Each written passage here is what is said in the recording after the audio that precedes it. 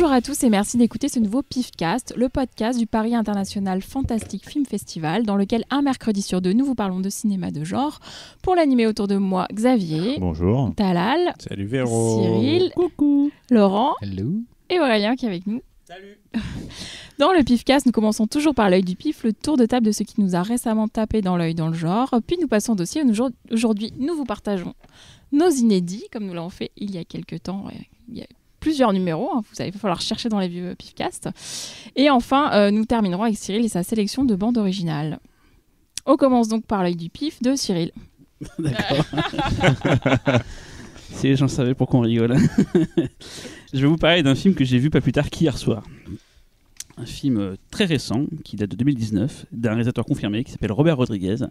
Et le film s'appelle Red Eleven. Je vois autour de moi des gens qui, sourient. voilà.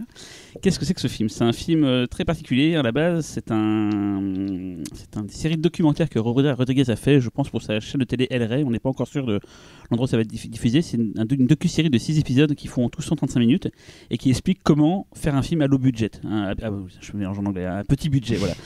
Ça s'appelle The Robert Rodriguez Film School. Et donc, le principe, c'est pendant euh, ces 135 minutes d'expliquer comment faire avec très peu de moyens un film. C'est-à-dire Et un barbecue, une scène, un barbecue, une scène. Et en fait, ils vont, Une guitare. ils vont tourner un film pour, pour, pour mettre en un exemple euh, ce qu'ils vont montrer pendant ces 135 minutes. Et ce film s'appelle Red Eleven et existe du coup pour de vrai et on peut le voir. Quoi. Il a été montré euh, au festival de South by Southwest en, en avril dernier. Puis, il est passé à la quinzaine des réalisateurs. Il a fait la clôture euh, là très récemment. euh, en France quoi. Euh, du coup donc ce documentaire nous montre pas mal de choses et tout quoi et, euh, et on va du coup bah, découvrir ce film. Avant d'en parler, je vais un parler du documentaire, euh, c'est intéressant. À la base, Robert Rodriguez a fait un bouquin qui s'appelait Make a film, make a film with what you got méthode. Voilà, c'est comment faire un film avec ce que vous avez au- au- autour de vous quoi. Et il explique comment pour très peu d'argent tourner un film quoi. Et c'est ce qu'il avait fait à l'époque de El Mariachi. C'était même l'argument marketing du film, c'était de dire voilà un film fait avec très peu de moyens, mais qui a marché. Et c'était à l'époque un des films les plus rentables de l'histoire du cinéma. Depuis Blair Witch Project est passé, puis je crois euh, Paranormal Activity qui l'a dépassé. Enfin ouais, chaque année, enfin on- tous les 10 ans, on a un film comme ça qui sort, qui coûte encore moins cher et qui rapporte encore plus. Voilà, donc c'est le principe de ces, trucs-là quoi.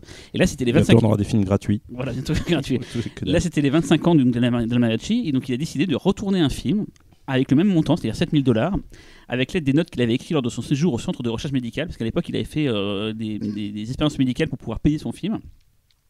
Et du coup, il, décide de documenter tout ce qu'il va faire, de- d'expliquer de A à Z comment on fait un film, de la partie scénario, le casting, les effets spéciaux, le montage, la musique, et vraiment tout expliqué. Quoi. Donc on a vu, avant le, passage du film, on a vu justement deux extraits très courts de, de ce documentaire. On a vu, je crois, deux fois 20 minutes, euh, qui nous expliquaient donc pas mal de choses et tout. Et donc ça nous a d'ailleurs un peu spoilé le film, parce qu'on voyait des séquences qu'on allait voir après dans le film. Puis on a vu le film. Donc le documentaire, il est vraiment passionnant de ce qu'on en a vu. Le film, beaucoup moins. c'est un peu une catastrophe, on va dire que bon, pour le côté 7000 dollars, on va, voilà, on peut être un mani- peu magnanime, mais c'est vrai que c'est très très mal joué. C'est très moche, c'est-à-dire que dans le film il t'explique ouais euh, je tourne avec euh, très peu de lumière, bon, ça se voit parce que c'est très mal éclairé quoi.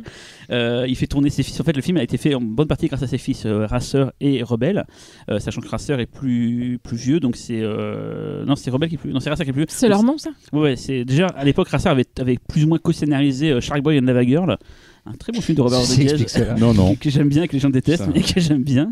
T'es le seul à défendre. Ouais, je dois être le seul à défendre, quoi. Au et euh, au monde, je pense. Et donc là, euh, c'est avec ses frangins, avec, avec ses- fistons, quoi. D'ailleurs, il joue dans le film aussi. Il y a plein d'acteurs euh, euh, de l'univers de Rodriguez qui jouent dedans. C'est sa Euh, grand-mère qui cadre. c'est pas sa grand-mère quelqu'un, mais déjà c'est tourné dans les locaux de Troublemaker, donc en gros euh, à côté des photocopieuses et des fax et tout. Enfin, c'est- il s'est fait croire que c'est un hôpital. Voilà. Parce que le principe du film, c'est quoi? C'est qu'en fait, c'est une bande de, de gens qui sont dans, dans les besoins, un peu comme à l'époque Robert Rodriguez, qui vont faire des expériences et qui donc doivent subir un protocole.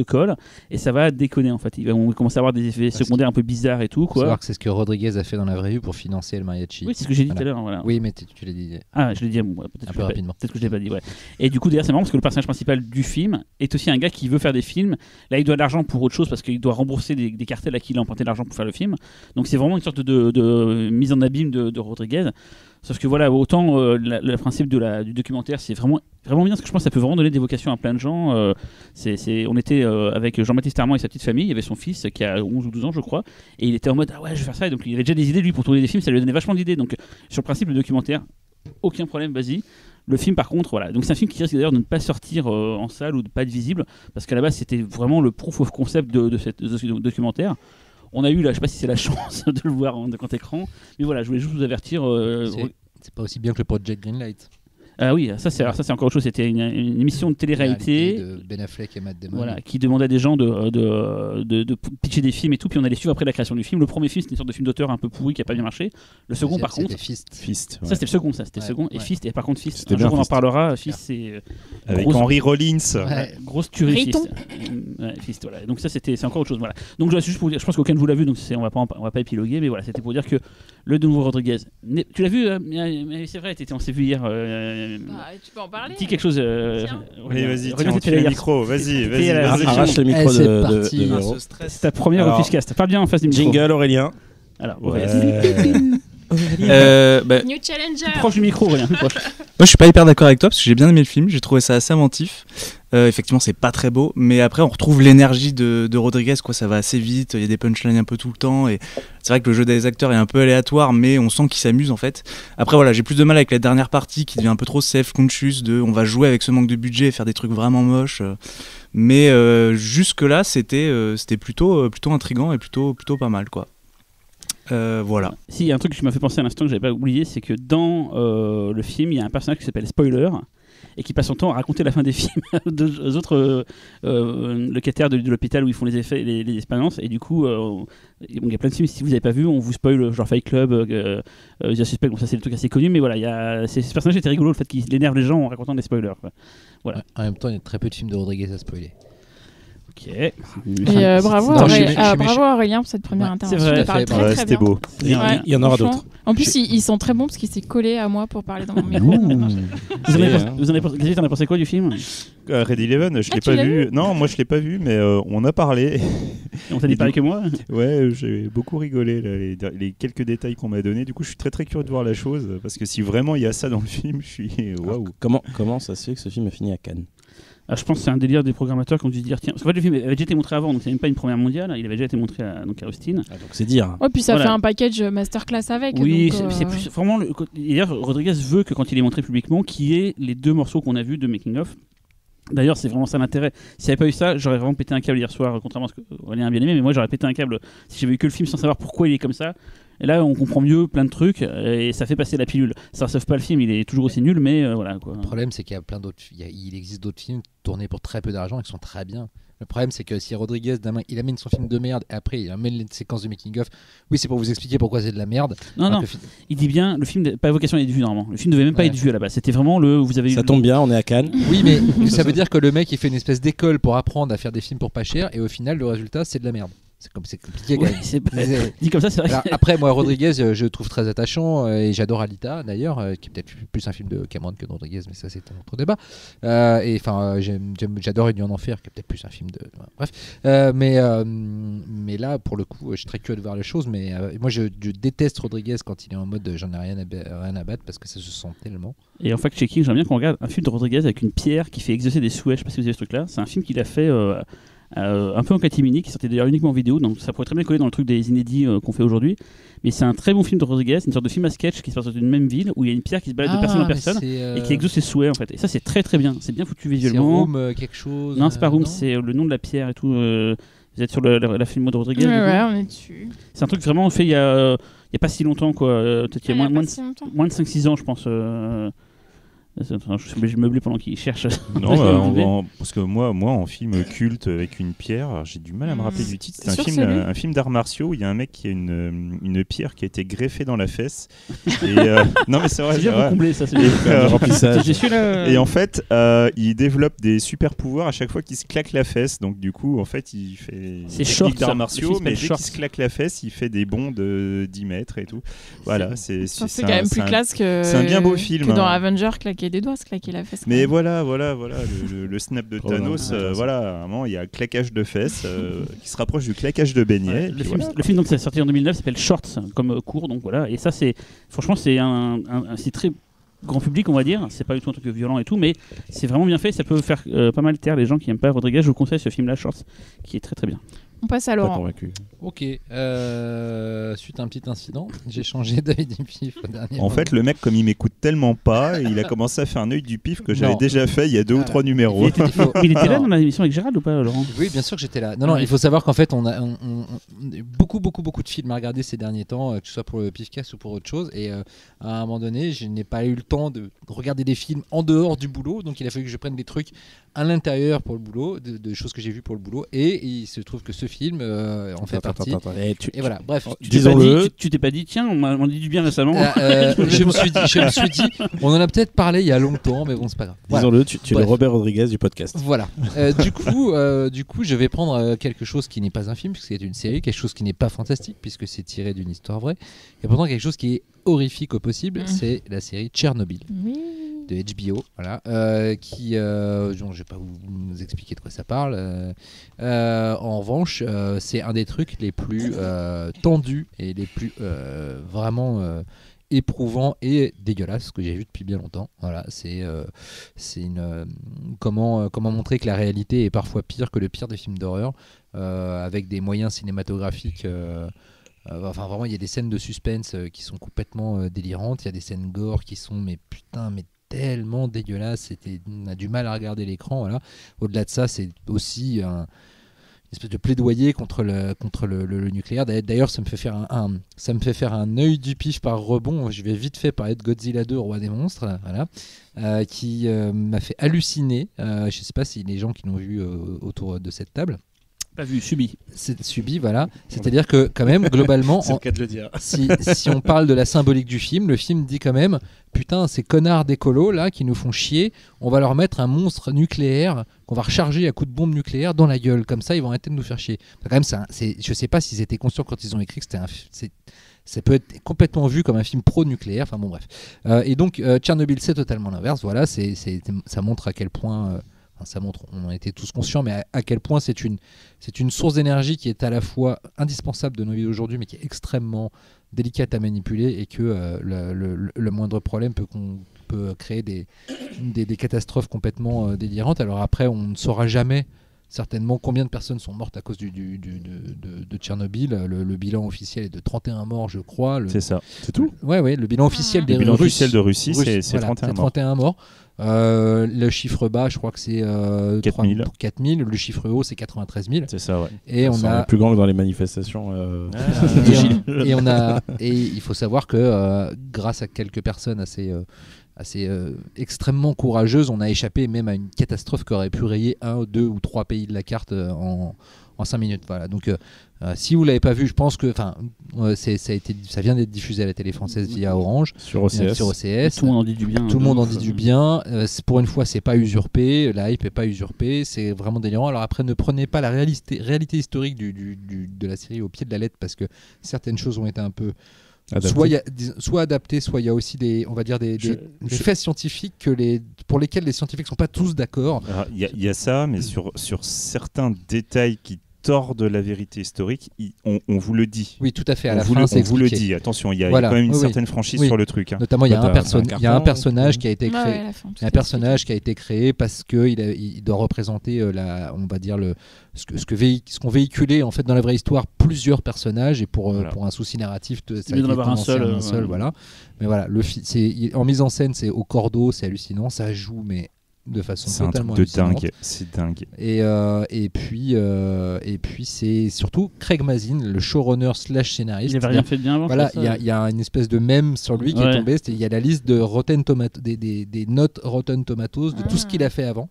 C'est-à-dire que le mec, en gros, c'était le scénariste de. euh, c'était quoi les parodies des Scream là euh, C'était les, Scary euh, Movie Non, Voilà. non, Scary Movie, Scary mais non, Movie les 5 Epic, ou Epic 6, Movie, je crois. Epic Movie. Enfin, le mec a fait que de la merde. Il a du 20%, 26%. euh, et d'un coup, il arrive à la série qui a le plus gros taux d'approba- de- d'approbation de l'histoire euh, de les séries télé aujourd'hui. Sur Voilà. IMDB. Sur IMDB 9,7 et, euh, et c'est pas volé voilà c'est une putain d'œuvre et j'en ai parlé parce que j'ai vraiment ressenti des vraiment une, une horreur euh, une, une vraie horreur et en même temps d'être conscient d'avoir d'être en face d'une espèce de d'horreur cinéma extrêmement cinématographique ouais, c'est voilà Je j'ai pas vu, mais juste un truc. C'est une série donc HBO, je crois que tu l'as dit. fait mini-série Et en voilà. 5 épisodes HBO, c'est pas Netflix. Tout, c'est tout dit, tout est là-dedans en fait. Euh, Netflix n'aura jamais ce niveau-là de, de, perfection. Franchement, tu regardes les séries Ouais, de so- et de sobriété euh, quand t'as, Alors moi j'avais un doute sur l'épisode 1 où il y a quand même une mise en scène de, de suspense parce que nous sachant ce qui s'est passé, Oui. tu vois, tu sais qu'il y a des gens qui se font contaminer sans le savoir, etc. Et du coup j'étais un peu embarrassée par ça et je me, je me demandais vraiment où allait en venir euh, la, la mini-série. Et effectivement au fil des épisodes tu comprends, euh, enfin il y a vraiment un sens, il y a une espèce de fini, là pédagogie. euh, C'est Ouais, ça finit. tous les- tous les épisodes. Ouais. c'est juste que HBO, c'est pas Netflix, il y a un côté, euh, un côté pas, pas adulte, c'est moche de dire Ouais. ça, mais il y a un- une sorte de, de- de rigueur qu'on ne trouve pas forcément chez Ça Netflix. fait et longtemps, ça l'histoire fait longtemps d'HBO qu'ils le font prouve. ça Oui. C'est l'histoire c'est eux d'HBO qui le ont, prouve, voilà, l'histoire qui ont d'HBO le renouvelé la prouve, série, euh. en fait, qui ont, qui ont fait Mm. que la, la série est ce qu'elle est Et je l'ai pas aujourd'hui. vu les Chernobyl, hein. j'ai juste le, ce que j'ai compris. Je me dis tiens, ça, encore une fois, comme The Wire, comme les Sopranos, enfin, c'est- ils arrivent, ils posent leur euh, Leur couille. C'est comme on peut dire, voilà. Et, voilà. Et je- Ah non, mais série, euh, série dingue, euh, extrêmement bien écrite. C'est un point tel que euh, les mecs arrivent à vous faire comprendre, et je dis pas des Ouais, conneries, je ouais, dis pas, ouais. c'est c'est pas des mots en l'air. Les mecs arrivent à vous faire comprendre comment fonctionne le nucléaire et une centrale Mm, mm. nucléaire. À un moment, quand on vous explique le fonctionnement d'une centrale nucléaire, le mec a même pas fini sa diatribe que vous avez tellement bien compris que vous voyez déjà la logique où il veut en venir. Ouais. C'est un truc de fou d'arriver à ce niveau-là. Le niveau de, de- de- des acteurs, c'est de l'excellence même. Euh, L'acteur principal, dont j'ai oublié le nom, je suis désolé, c'est déjà lui qui, qui, qui officiait dans The Terror. C'est Il était, de- il était déjà Moriarty dans Sherlock Holmes, tout à il fait. ouais. Il était déjà, il est tout le temps excellent ce mec. Jared Harris. ouais. Ah il est. Pareil dans Mad Men et tout machin. Ce mec, c'est un putain d'acteur. Moi, c'est simple. a- Je vois une série, une mini-série, un film avec lui. Moi, j'y vais tout de suite. Quoi. Je sais que je vais prendre un grand panard. C'est magique. Je précise un dernier truc, c'est que le gouvernement russe a, a- a dit que, le fi- que, que la série était, euh, était anti-russe au possible Ouais. et euh, a décidé euh, de produire sa propre version euh, télé de Tchernobyl. Donc euh, ils, vont- ils, vont, ils vont lancer ça. Euh, je tiens à dire que c'est pas du tout de l'anti-russe euh, primaire, surtout Non. en ces temps de, de, de, de- de- d'anti-poutinisme ou de pro-poutinisme. Ouais, mais Bref, c'est en revanche c'est, comment la politique. euh, Ouais, c'est de l'anti-humain en fait. c'est- C'est-à-dire qu'on Oui, se voilà. fout dedans tout seul, quoi. Enfin, Voilà. par des espèces de micro-problèmes. euh, C'est ça, ouais. Et par rapport à Threads, justement, le- ouais. Alors en fait, ouais, c'est différent. C'est différent. parce qu'en fait, le, le, le- le Tchernobyl, là où il est euh, dur, c'est de te montrer euh, à quel point l'humanité euh, Mm. peut être dégueulasse. Et franchement, tu as juste envie de, de plus croire en l'humanité. Sauf que parallèlement à ça, on te fait sortir euh, un mec donc, qui a véritablement existé, donc euh, Legasov, Valérie Legasov, qui, euh, qui est un, un- un putain de héros. Et le mec, euh, tout a été fait pour qu'on efface son nom euh, des tablettes, ouais. qu'on ne le connaisse pas. Et grâce à ça, le mec est réhabilité. Et, tu- et franchement, heureusement qu'il est là parce que euh, malgré tout- toute l'horreur que tu ressentiras vis-à-vis de l'humanité, d'un coup, tu te dis putain, dans tout ça, il y en a au moins un dans le lot. c'est- euh, la- liste joue, Schindler, en fait. C'est- C'est non Jared Harris Hein C'est un peu la liste de Schindler en fait. Non mais surtout, il y a plein de héros. Il y a, Le il y a côté plein de héros au quotidien. Les, héros. euh, Ah. les, les min- les mineurs euh, qui acceptent d'y aller. Ah, euh, mais les- tous, enfin, les- tout tous, ça, plein de- ils sont, euh, C'est ça en fait. Qu'en fait le, Ils le- sont beaux tous. L'âme russe est très belle dans le film. Ouais. Dans, dans la série, l'âme russe est très belle. C'est le, c'est le système politique qui est horrible. Ben, c'est en fait c'est c'est c'est c'est l'esprit russe poussé à l'extrême dans la politique qui va amener des choses alors que le l'âme l'âme de Mm. l'homme russe. Je veux chanter. amène amène autre chose. Je tiens à parler d'une scène extraordinaire, enfin d'un épisode extraordinaire, c'est l'épisode avec les chiens. Ouais, l'épisode avec Il les est chiens. juste il- Incroyable. C'est Ouais. avec l'acteur euh, Fares Fares qui joue Ouais, dans, euh, dans euh, le mec. Confidential et, euh, et, euh, les, dépa- les enquêtes du Le département, V. Il est absolument génial dans, ce, dans, ce- dans cet épisode et euh, tout- toute cette petite storyline euh, qui. Parce qu'en fait, le- le- la série Et arrive à. vous- C'est le jeune de mise à mort du cerf Ouais, tout à fait. Ouais. La série arrive vraiment à vous faire comprendre un petit peu tout, tout ce que peut impliquer un tel événement euh, sans, sans paraître trop artificiel. Et, et cet épisode avec les chiens est terrifiant. Juste, Voilà. euh, moi, juste pour finir euh, vis-à-vis de Threads, pour répondre à ta question, euh, Threads est plus dur et plus nihiliste. Voilà. Tchernobyl est plus factuel et quelque part, il y a, y, a, y a au moins une lueur d'espoir que Threads n'a pas. Voilà. Bon, alors, euh, je, je- je modulo euh, que c'est vrai dans, Oui. dans, dans Tchernobyl, et du coup, c'est glaçant parce que tu te dis qu'en vrai, ça peut arriver n'importe quelle seconde. C'est ça, euh, ouais. peut arriver Ouais. de nouveau, en fait. Vu les a- raisons qui ont mené à ça, en fait. On imagine alors que Ouais, c'est- vrai. quoi. Et il y a euh, Robert Rodriguez qui a vu la série qui veut aussi livrer sa propre version dans son Pour garage. 7000 euros. pour 7000 Pour 7000 dollars. voilà. En rouble, il va la faire, je crois. En rouble, ouais, encore pire. Euh, Talal. Ok. Elle est contente quand elle- C'est quoi ce rire maléfique moi, moi, je- vous les voyez pas, mais moi je vois qu'elle jubile quand elle, mal, quand elle les noms, elle fait tada, tada, tada. Elle est super contente. Avec mon stylo. Voilà, c'est toi maintenant. Alors, moi, je vais parler d'un film dont on a déjà parlé euh, il y a quelques temps. mais- Alors quand c'est- quand c'est moi, on me fait chier. Non, non, hein. mais ça fait plus, ça fait, ça fait plus longtemps que ça. Et puis, tu- tu- je crois que tu l'as- tu l'avais un peu. euh, Tu l'avais vite passé en revue parce que tu l'avais vu en projection de presse. Ténégos la carnet. En fait, je suis en train de, de rattraper des films de l'an dernier euh, en, en vidéo. Et donc, j'ai vu euh, enfin le Halloween de David Gordon Green qui est sorti donc en 2018. Et euh, donc, euh, donc comme, comme son nom l'indique, en fait, c'est alors ce n'est pas une suite. Enfin, si, c'est plutôt une suite du premier, mais et pas, et pas un reboot en fait. Donc, voilà. Donc, le film est, le- est- est la suite de l'original du film de John Carpenter. Donc on retrouve Jamie, Jamie Lee Curtis 40 ans après le massacre d'Adolfield et euh, qui après toutes ces années en fait a, a préparé, euh, s'est préparé pour, pour, pour affronter le, le retour de Michael Myers, donc le, le fameux croque-mitaine qui a, qui a foutu sa vie en l'air. Donc, euh, alors évidemment, Michael Myers s'échappe et, puis le fa- face à face peut commencer. Et le truc, c'est le problème, c'est aussi ça, c'est qu'on l'attend longtemps ce face à face en fait, parce que le film dure euh, 1h30 et on a l'impression qu'il dure plus longtemps que ça. Donc, je, je- je crois de souvenir que Laurent en avait, en avait dit du bien. Donc c'est pas mal parce que du coup, moi, je, je- je vais, je vais apporter l'autre versant, même, Sans péter un câble. même si j'ai pas voilà, complètement détesté non plus en fait, mais, mais voilà. Alors, le film était très très attendu parce que bon, euh, Carpenter avait donné sa bénédiction. Bon, après, on, sait ce que vaut la, la bénédiction de Carpenter. Et par Un peu contre, comme celle de James Cameron. voilà.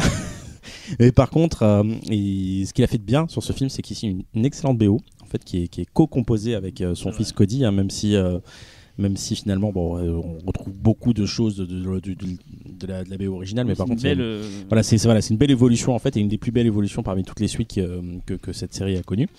Euh, donc le, le film est, est produit par le très très prolifique Jason Blum, euh, qui a qui a vu une, une opportunité en fait pour faire des faire imprimer des nouveaux billets. Il n'a pas eu tort parce que le film a été un méga carton. Alors j'ai pas les chiffres en tête là, mais, mais je sais que 130 que- millions rien qu'aux USA. voilà, euh, dans le monde, ça doit, ça doit être assez, assez, assez taré par rapport au, au budget. Mais bon, voilà, il y a que ce mec-là en fait au monde qui, qui, qui connaît cette recette et qui, qui réussit, on va dire, euh, euh, pour quasiment à tous les coups. Quoi. Donc voilà, le, le- le- je disais, le film est réalisé par David Gordon Green, qui en fait, euh, peut-être qu'il vous dit rien comme ça, en tout cas dans le genre, mais en fait, c'est un réalisateur. Euh, du, de cinéma indépendant américain très très connu. J'ai l'impression de parler très vite comme Cyril, c'est bizarre. Euh, peux expliquer On t'écoutera au ralenti, t'inquiète. on m'écoute au ralenti. Euh, et donc, euh, David Gordon Green, en fait, il a, il a réalisé euh, des films dont vous avez peut-être entendu parler dans un cinéma euh, entre guillemets d'auteur. Euh, il a réalisé un film qui s'appelle L'autre rive, euh, qui est sorti en 2004, euh, une comédie euh, qui n'a rien à voir avec le, premier, avec le film précédemment cité, qui s'appelle Délire Express, euh, qui, est, qui est un film avec Seth Rogen et euh, rappelez-moi son nom. James Franco. James Franco, merci. Et euh, Your Highness, et plus récemment Joe, qui est aussi un film qui a, plutôt des très bonnes critiques. Et puis, alors, ce qui est aussi d'autant plus surprenant que le film est coécrit, alors donc avec Gordon Green, mais aussi avec Danny McBride, euh, Danny McBride que vous connaissez parce que c'est Kenny Powers en fait, dans la, la fa- la fameuse série éponyme en fait. Et euh, donc voilà, on se demande mais comment ça se fait que ce mec-là s'est retrouvé impliqué dans, l'écriture de Halloween? Donc euh, bon, Ah, c'est un fan. C'est un fan de genre. euh, un- Danny McBride. Ah. D'ailleurs, il joue dans Alien Covenant. Un rôle très sérieux. C'est vrai, c'est vrai, c'est vrai. Alors le, le film est, est pas mauvais en soi, mais il est constamment, il est constamment en train de souffler le chaud et le froid, et on, on en vient presque à regretter par moments le film de Rob Zombie. Et, et c'est dire, j'aime pas beaucoup le film, les films de Rob Zombie, hormis le 2 pour- qui ressemble plutôt à normal. hein. un long clip euh, que, de métal que, que- voilà, que j'aime peut-être pour les mauvaises raisons. Et donc globalement, on se fait plutôt chier. Et, euh, et comme justement, il y a, un, re- un reproche que je faisais déjà au film de zombies, c'est le fait de démystifier complètement le personnage, alors que c'est supposé être le mal absolu en fait. Et, là, euh, dès le début, en fait, on, prend le parti de le montrer. Alors même si on monte pas frontalement, on voit un peu son profil, il est cadré toujours de façon à ce qu'on comprenne en fait euh, plus ou moins ses traits, qu'on les devine du moins. Et donc c'est voilà, c'est une sorte de Papy Meyers qui, est supposé représenter le mal absolu. Donc dès le départ, il y a un truc qui me, qui me dérange. Et en dehors de tout ça, c'est tous ces personnages cons. En fait, tous les personnages ont l'air vraiment profondément débiles. Et euh, notamment le, le fameux, euh, le fameux, on va dire, Lou- je vais l'appeler Loomis Beast, j'ai oublié son nom dans, dans le film, euh, qui, est, qui reprend exactement les mêmes principes que, que le personnage de Loomis, sauf que voilà, au bout d'un moment, tu dis mais pourquoi je suis en train de suivre ce personnage Ouais, mais il après, c'est expliqué pourquoi? Oui, mais bon, ça tient pas la route en fait. C'est comme tous les comportements des personnages. C'est comme les, ces fameux, euh, ces fameux journalistes, entre, podcasteurs, ouais, terrible, parce qu'il faut être dans, dans l'air du temps, et, euh, et, et, qui sont, euh, qui sont complètement cons. Quoi. La scène où il lui montre le masque au début quand il arrive à ici. Surtout, j'aimerais bien voir des podcasteurs qui gagnent leur vie grâce à ça. Mais je connais pas. et, et, et, du coup, dès le départ, en fait, il y a un, un, une sorte de problème de crédibilité des, des, des, personnages que tu vas suivre, qui fait que bah en fait, t'en as un peu rien à foutre et, finalement tu décroches malheureusement. Euh, donc il n'y a pas vraiment de scène marquante et je pense que ce film-là est vraiment à l'image de son plan séquence dont, on a beaucoup parlé à un moment donné, qui est une sorte de plan séquence qui démarre, qui a l'air super cool. Tu dis tu vas suivre euh, les crimes de Michael Myers qui va rentrer dans, un, dans, un, dans une maison, qui va buter quelqu'un, qui va... Et, et, en fait non, en fait le plan séquence s'arrête très vite. Et, euh, il y a deux meurtres. Il y a deux meurtres tout. Et, et, bof, enfin finalement, ouais, voilà, bof. T'as l'impression que le, film est un peu incomplet, ou soit les mecs ils ont pas eu le temps. Alors peut-être que je m'avance, hein, je, je suis pas à la place des gars qui ont fait le film, mais y a vraiment cette sensation en fait que qu'ils sont pas allés jusqu'au bout de quelque chose. Et euh, alors par contre, il y a une seule chose qui est vraiment euh, que j'adore dans ce film. Bah, c'est Jamie Lee Curtis. Voilà. C'est pas, j'ai tort de l'appeler chose. Non, c'est, une comédienne qui est, qui est, qui est, magnifique, qui bouffe l'écran. Euh, Aujourd'hui encore, Jamie Lee Curtis a autant de charisme et, toutes ces scènes en fait sont vraiment passionnantes. Et, c'est pour ça que vraiment le film décolle vraiment dans son dernier tiers où, il y a quelque chose qui a été mis en place dans le scénario qui est très intéressant mais qui n'est pas du tout exploité. C'est le fait en fait que le personnage en fait a élevé ses enfants, sa fille, comme étant euh, quelqu'un qui doit se préparer à l'arrivée de ce Michael Myers. Et en fait, il y a ce truc qui est mis en place qui n'est pas du tout en fait exploité. C'est-à-dire que la le, le, personnage de la fille, qui est incarné par une comédienne qui est connue aussi, dont j'ai oublié le nom, et dit euh, oui, elle m'a euh, pendant toute ma vie en fait, elle m'a entraîné à ça, elle m'a pourri la vie. Et finalement, il y a ce, truc où on se dit putain, finalement, se centrer sur quelque chose, sur le noyau de la famille et sur cette mère qui a, qui a, qui a tyrannisé ses, enfants pour en arriver là. Là, ça aurait donné vraiment le sujet que j'aurais envie de voir et en fait un contre-pied sur, euh, sur, euh, sur cette, cette, cette, ce remake euh, slash suite de Halloween. Jodie Greer. En fait, il y a un côté Sarah, il y a un côté Sarah Connor. En fait. Il y a un côté complètement Sarah Connor qui marche très très bien parce que c'est Jamie Lee Curtis aussi et parce que finalement on comprend le fait d'entraîner aussi le, les enfants et tout, le côté entraîner ouais. les enfants. Voilà. Exactement. Mais pourquoi pas hein, Pourquoi pas C'est Terminator l'a fait, mais on, on, on, peut le revoir sous un, sous un autre angle. Et, et finalement, finalement, le film se contente de, de, d'être sur des rails et de, de, jouer la carte du classicisme et c'est vraiment dommage. Euh, je, je, suis parti vraiment pour adorer ce film et, et je le déteste pas parce que c'est difficile de le détester et finalement c'est pas si mal que ça. Mais c'est juste que voilà pour, euh, pour le retour d'un du, du, des plus grands boogeyman de, de, de l'histoire du cinéma, je, je m'attendais à mieux. Après, bon, voilà, je, je, verrai les suites parce qu'il y en aura. Euh... Des retours de Halloween, il y en a eu plusieurs, hein, et chaque fois c'était pourri quoi. Ça dépend, moi j'aime bien le 2, mais bon, voilà. Non, mais puis... les retours, quand je dis genre c'est pas la première fois que Halloween revient après des années, tu vois. Ouais, ouais, ouais. et puis il y en aura on encore d'autres. On hein. est habitué maintenant. On va s'en, on va s'en bah, farcir, mais bon, voilà. D'ailleurs, Jason Blum a annoncé euh, récemment euh, la suite. La suite. Ouais, donc voilà. Je sais pas ce que vous en avez pensé, les gars. Moi, je, je... La musique est bien. Ouais. Mmh, j'ai déjà oublié. ouais, c'est ça, c'est ça. J'aimerais en parler pendant des heures, mais euh, voilà, quoi, je, je l'ai trouvé un peu insignifiant en fait. C'est mmh. euh, extrêmement. En fait, je l'attendais vachement. beaucoup de personnes m'ont dit que c'était nul. Euh, la réalité est que c'est ni l'un ni l'autre. En fait, je. Mmh. C'est pire. Il... Non, non. C'est tiède. Non, non. différent. Le, c'est ouais, c'est tiède. Mmh. C'est juste tiède. C'est un peu Mmh. sans saveur. C'est et en fait, juste, moi je dirais qu'il est un poil énervant parce qu'il y a plein de bonnes idées Mmh. qui sont jamais exploitées. Ouais, Voilà, c'est vraiment ça qui me gêne. Après, et bah, comme tu dis, j'ai pas détesté le film. quoi. C'est pas un film détestable, je suis désolé. Je pense que les gens ont, été, ont détesté parce qu'il y a un côté. Euh, voilà, faut garder euh, le côté culte Halloween, gardien du gna, temple, gna, hein. gna, gna. Ouais, gardien du temple. Euh, Il y a un moment, non, bah après, faut rester ouvert aussi. quoi. Attends, eh, franchement, je suis désolé. Merde, vous avez vu Halloween 6 oui, mais... Merde, c'est bon, faites pas oui, chier. Quoi. Ce que je veux dire, c'est que moi, ce qui m'a énervé dans le ah, film. J'ai jamais vu celui-là, c'est le seul que j'ai pas vu. Ce qui m'a énervé dans le film, c'est la, la, la, somme de talent qu'il y a pour faire ce film. Tu vois, genre, euh... Oui, mais pareil, ça c'est la c'est pas la première fois que tu vois un truc comme oui, ça. Oui, mais du coup, au final, tu fais ah bah. ouais, tu vois, autant de bons gens dans tous les domaines mmh, qui te font un truc. Voilà, voilà. c'est pas génial, mais en même temps, je suis désolé, il y, y, a personne qui mérite d'être brûlé sur la place publique à cause Là, de ça. Le truc, c'est qu'en fait, on attend, on attend que ça revienne, que ce soit aussi bien que le premier. On sait jamais, que ce, on sait bien que ce sera jamais le cas.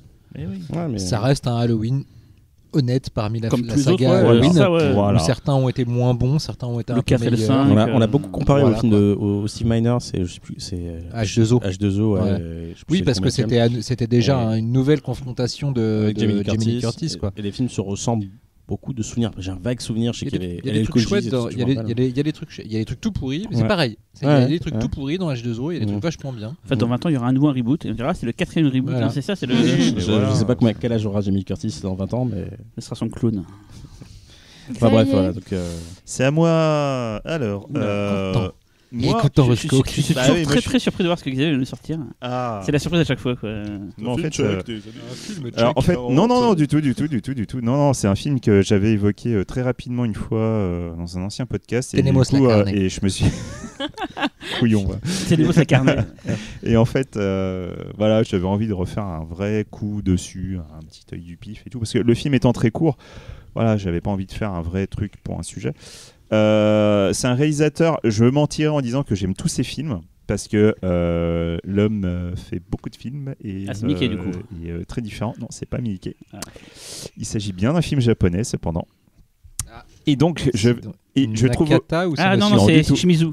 Non, et je trouve aussi que nous ne parlons pas assez de cinéma asiatique. Alors pour une fois, je me suis dit, putain, allez, un petit film jap de Sogoichi. Ah oui. Et je vais vous ressortir un petit Electric Dragon 80 000 volts de derrière les fagots parce que putain, merde, c'est bon. Alors, le synopsis. C'est le titre Electric Dragon.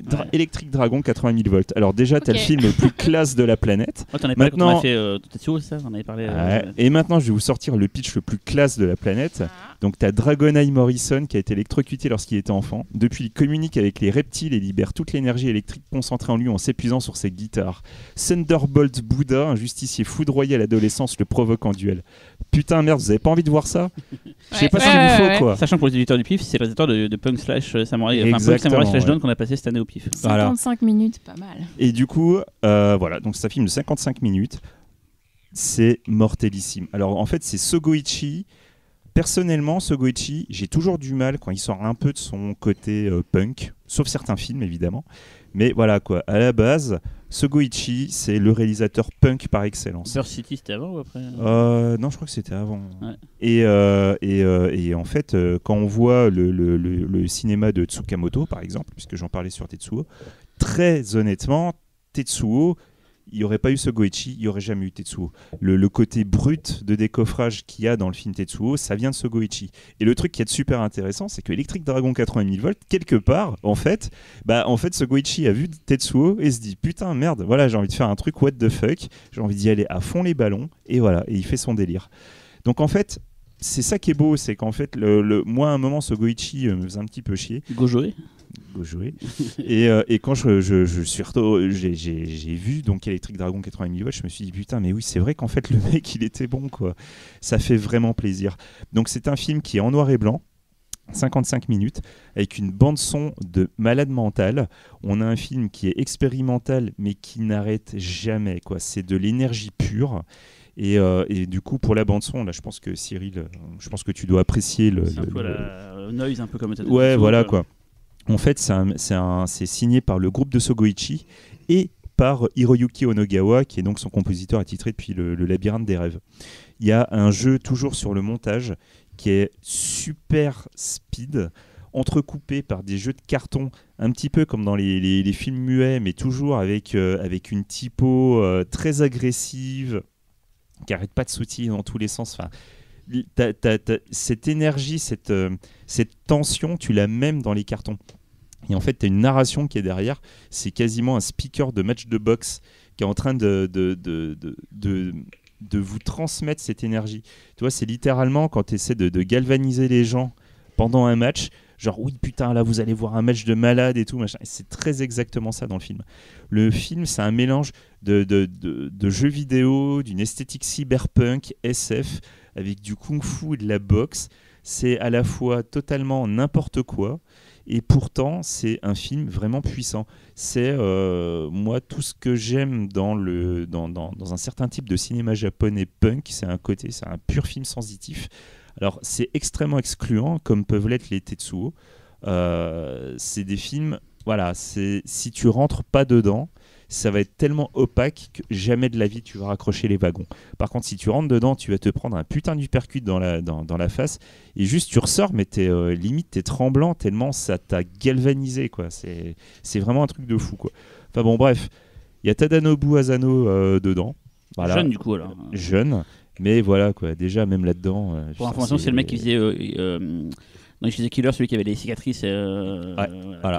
Et du coup, voilà quoi. Putain d'acteur, putain de film, putain de réalisateur. C'est 55 minutes. Vous avez aucune excuse pour pas le regarder. Voilà. Moi, c'est Shameless. Hein, Parce qu'on le voit comment? Ah bah après pour le voir là il y, a un DVD il y a plein d'imports hein. il y a un DVD euh, américain qui existe. Je sais pas s'il est sorti en Blu-ray je suis pas sûr. Non mais c'est un film qui a, été euh, beaucoup édité. pas en France malheureusement jamais en France mais qui était pas mal édité dans plein, plein, de pays. l'Allemagne je pense j'imagine euh, j'imagine que voilà ou l'Angleterre ouais ouais ouais. Mais voilà quoi. Enfin franchement matez-le vous allez voir c'est un truc de dingue. et moi c'est Shameless. Ça fait des années que je dois le voir et que je me dis ouais mais, je pense c'est furieux. juste furieux. Ouais mais j'essaie la réputation Véronique Ouais Allez non, Moi, ça va être rapide parce que je vais parler d'un film d'un réalisateur euh, auquel on a consacré tout un pifcast, euh, Georges Romero, donc le pifcast 57. Et donc, j'ai rattrapé un des films que j'avais jamais vu, lui, Brother de. Oh, putain, je t'ai su que celui-là. Je suis trop forte. Euh, c'est celle dont on n'a pas parlé aussi. Bah, en fait, on n'en a pas parlé et euh, je l'avais pas vu, donc j'étais bien contente qu'on n'en parle pas. et là, ça y est, je l'ai vu. Euh, alors, rapidement, l'histoire. Donc, je parle pas de réalisateur, vous écouterez le Pifcast 57 où on en parle longuement. Henri est un homme donc, qui est joué par Jason Fleming. est un homme discret qui a du mal à s'imposer dans son travail, avec sa femme, avec son chien. Il a du mal à s'imposer. un jour, il se réveille sans visage, en tout cas avec un masque sans expression, enfin tout blanc et sans expression. Et à partir de ce moment-là, il décide de se venger de tous ceux qui l'ont fait souffrir. Euh, alors, je savais vraiment rien du film, donc ça a vraiment été une énorme surprise et une très très bonne surprise. Euh, euh, et je sais pas pourquoi il est mal vu dans la filmo euh, de Romero. Il me semble qu'il a vraiment mauvaise réputation. Je pense qu'il est sorti à un moment où il y avait une vague de slasher et il a été traité lui-même comme un slasher, alors qu'en fait, pas du tout. Il était vendu comme ça. Ouais, c'est ça. Il était. Enfin, moi, je, je pensais que c'était En plus, quand tu vois juste des vignettes ou quoi, t'as un mec avec un masque, bah voilà, tu penses que c'est un slasher.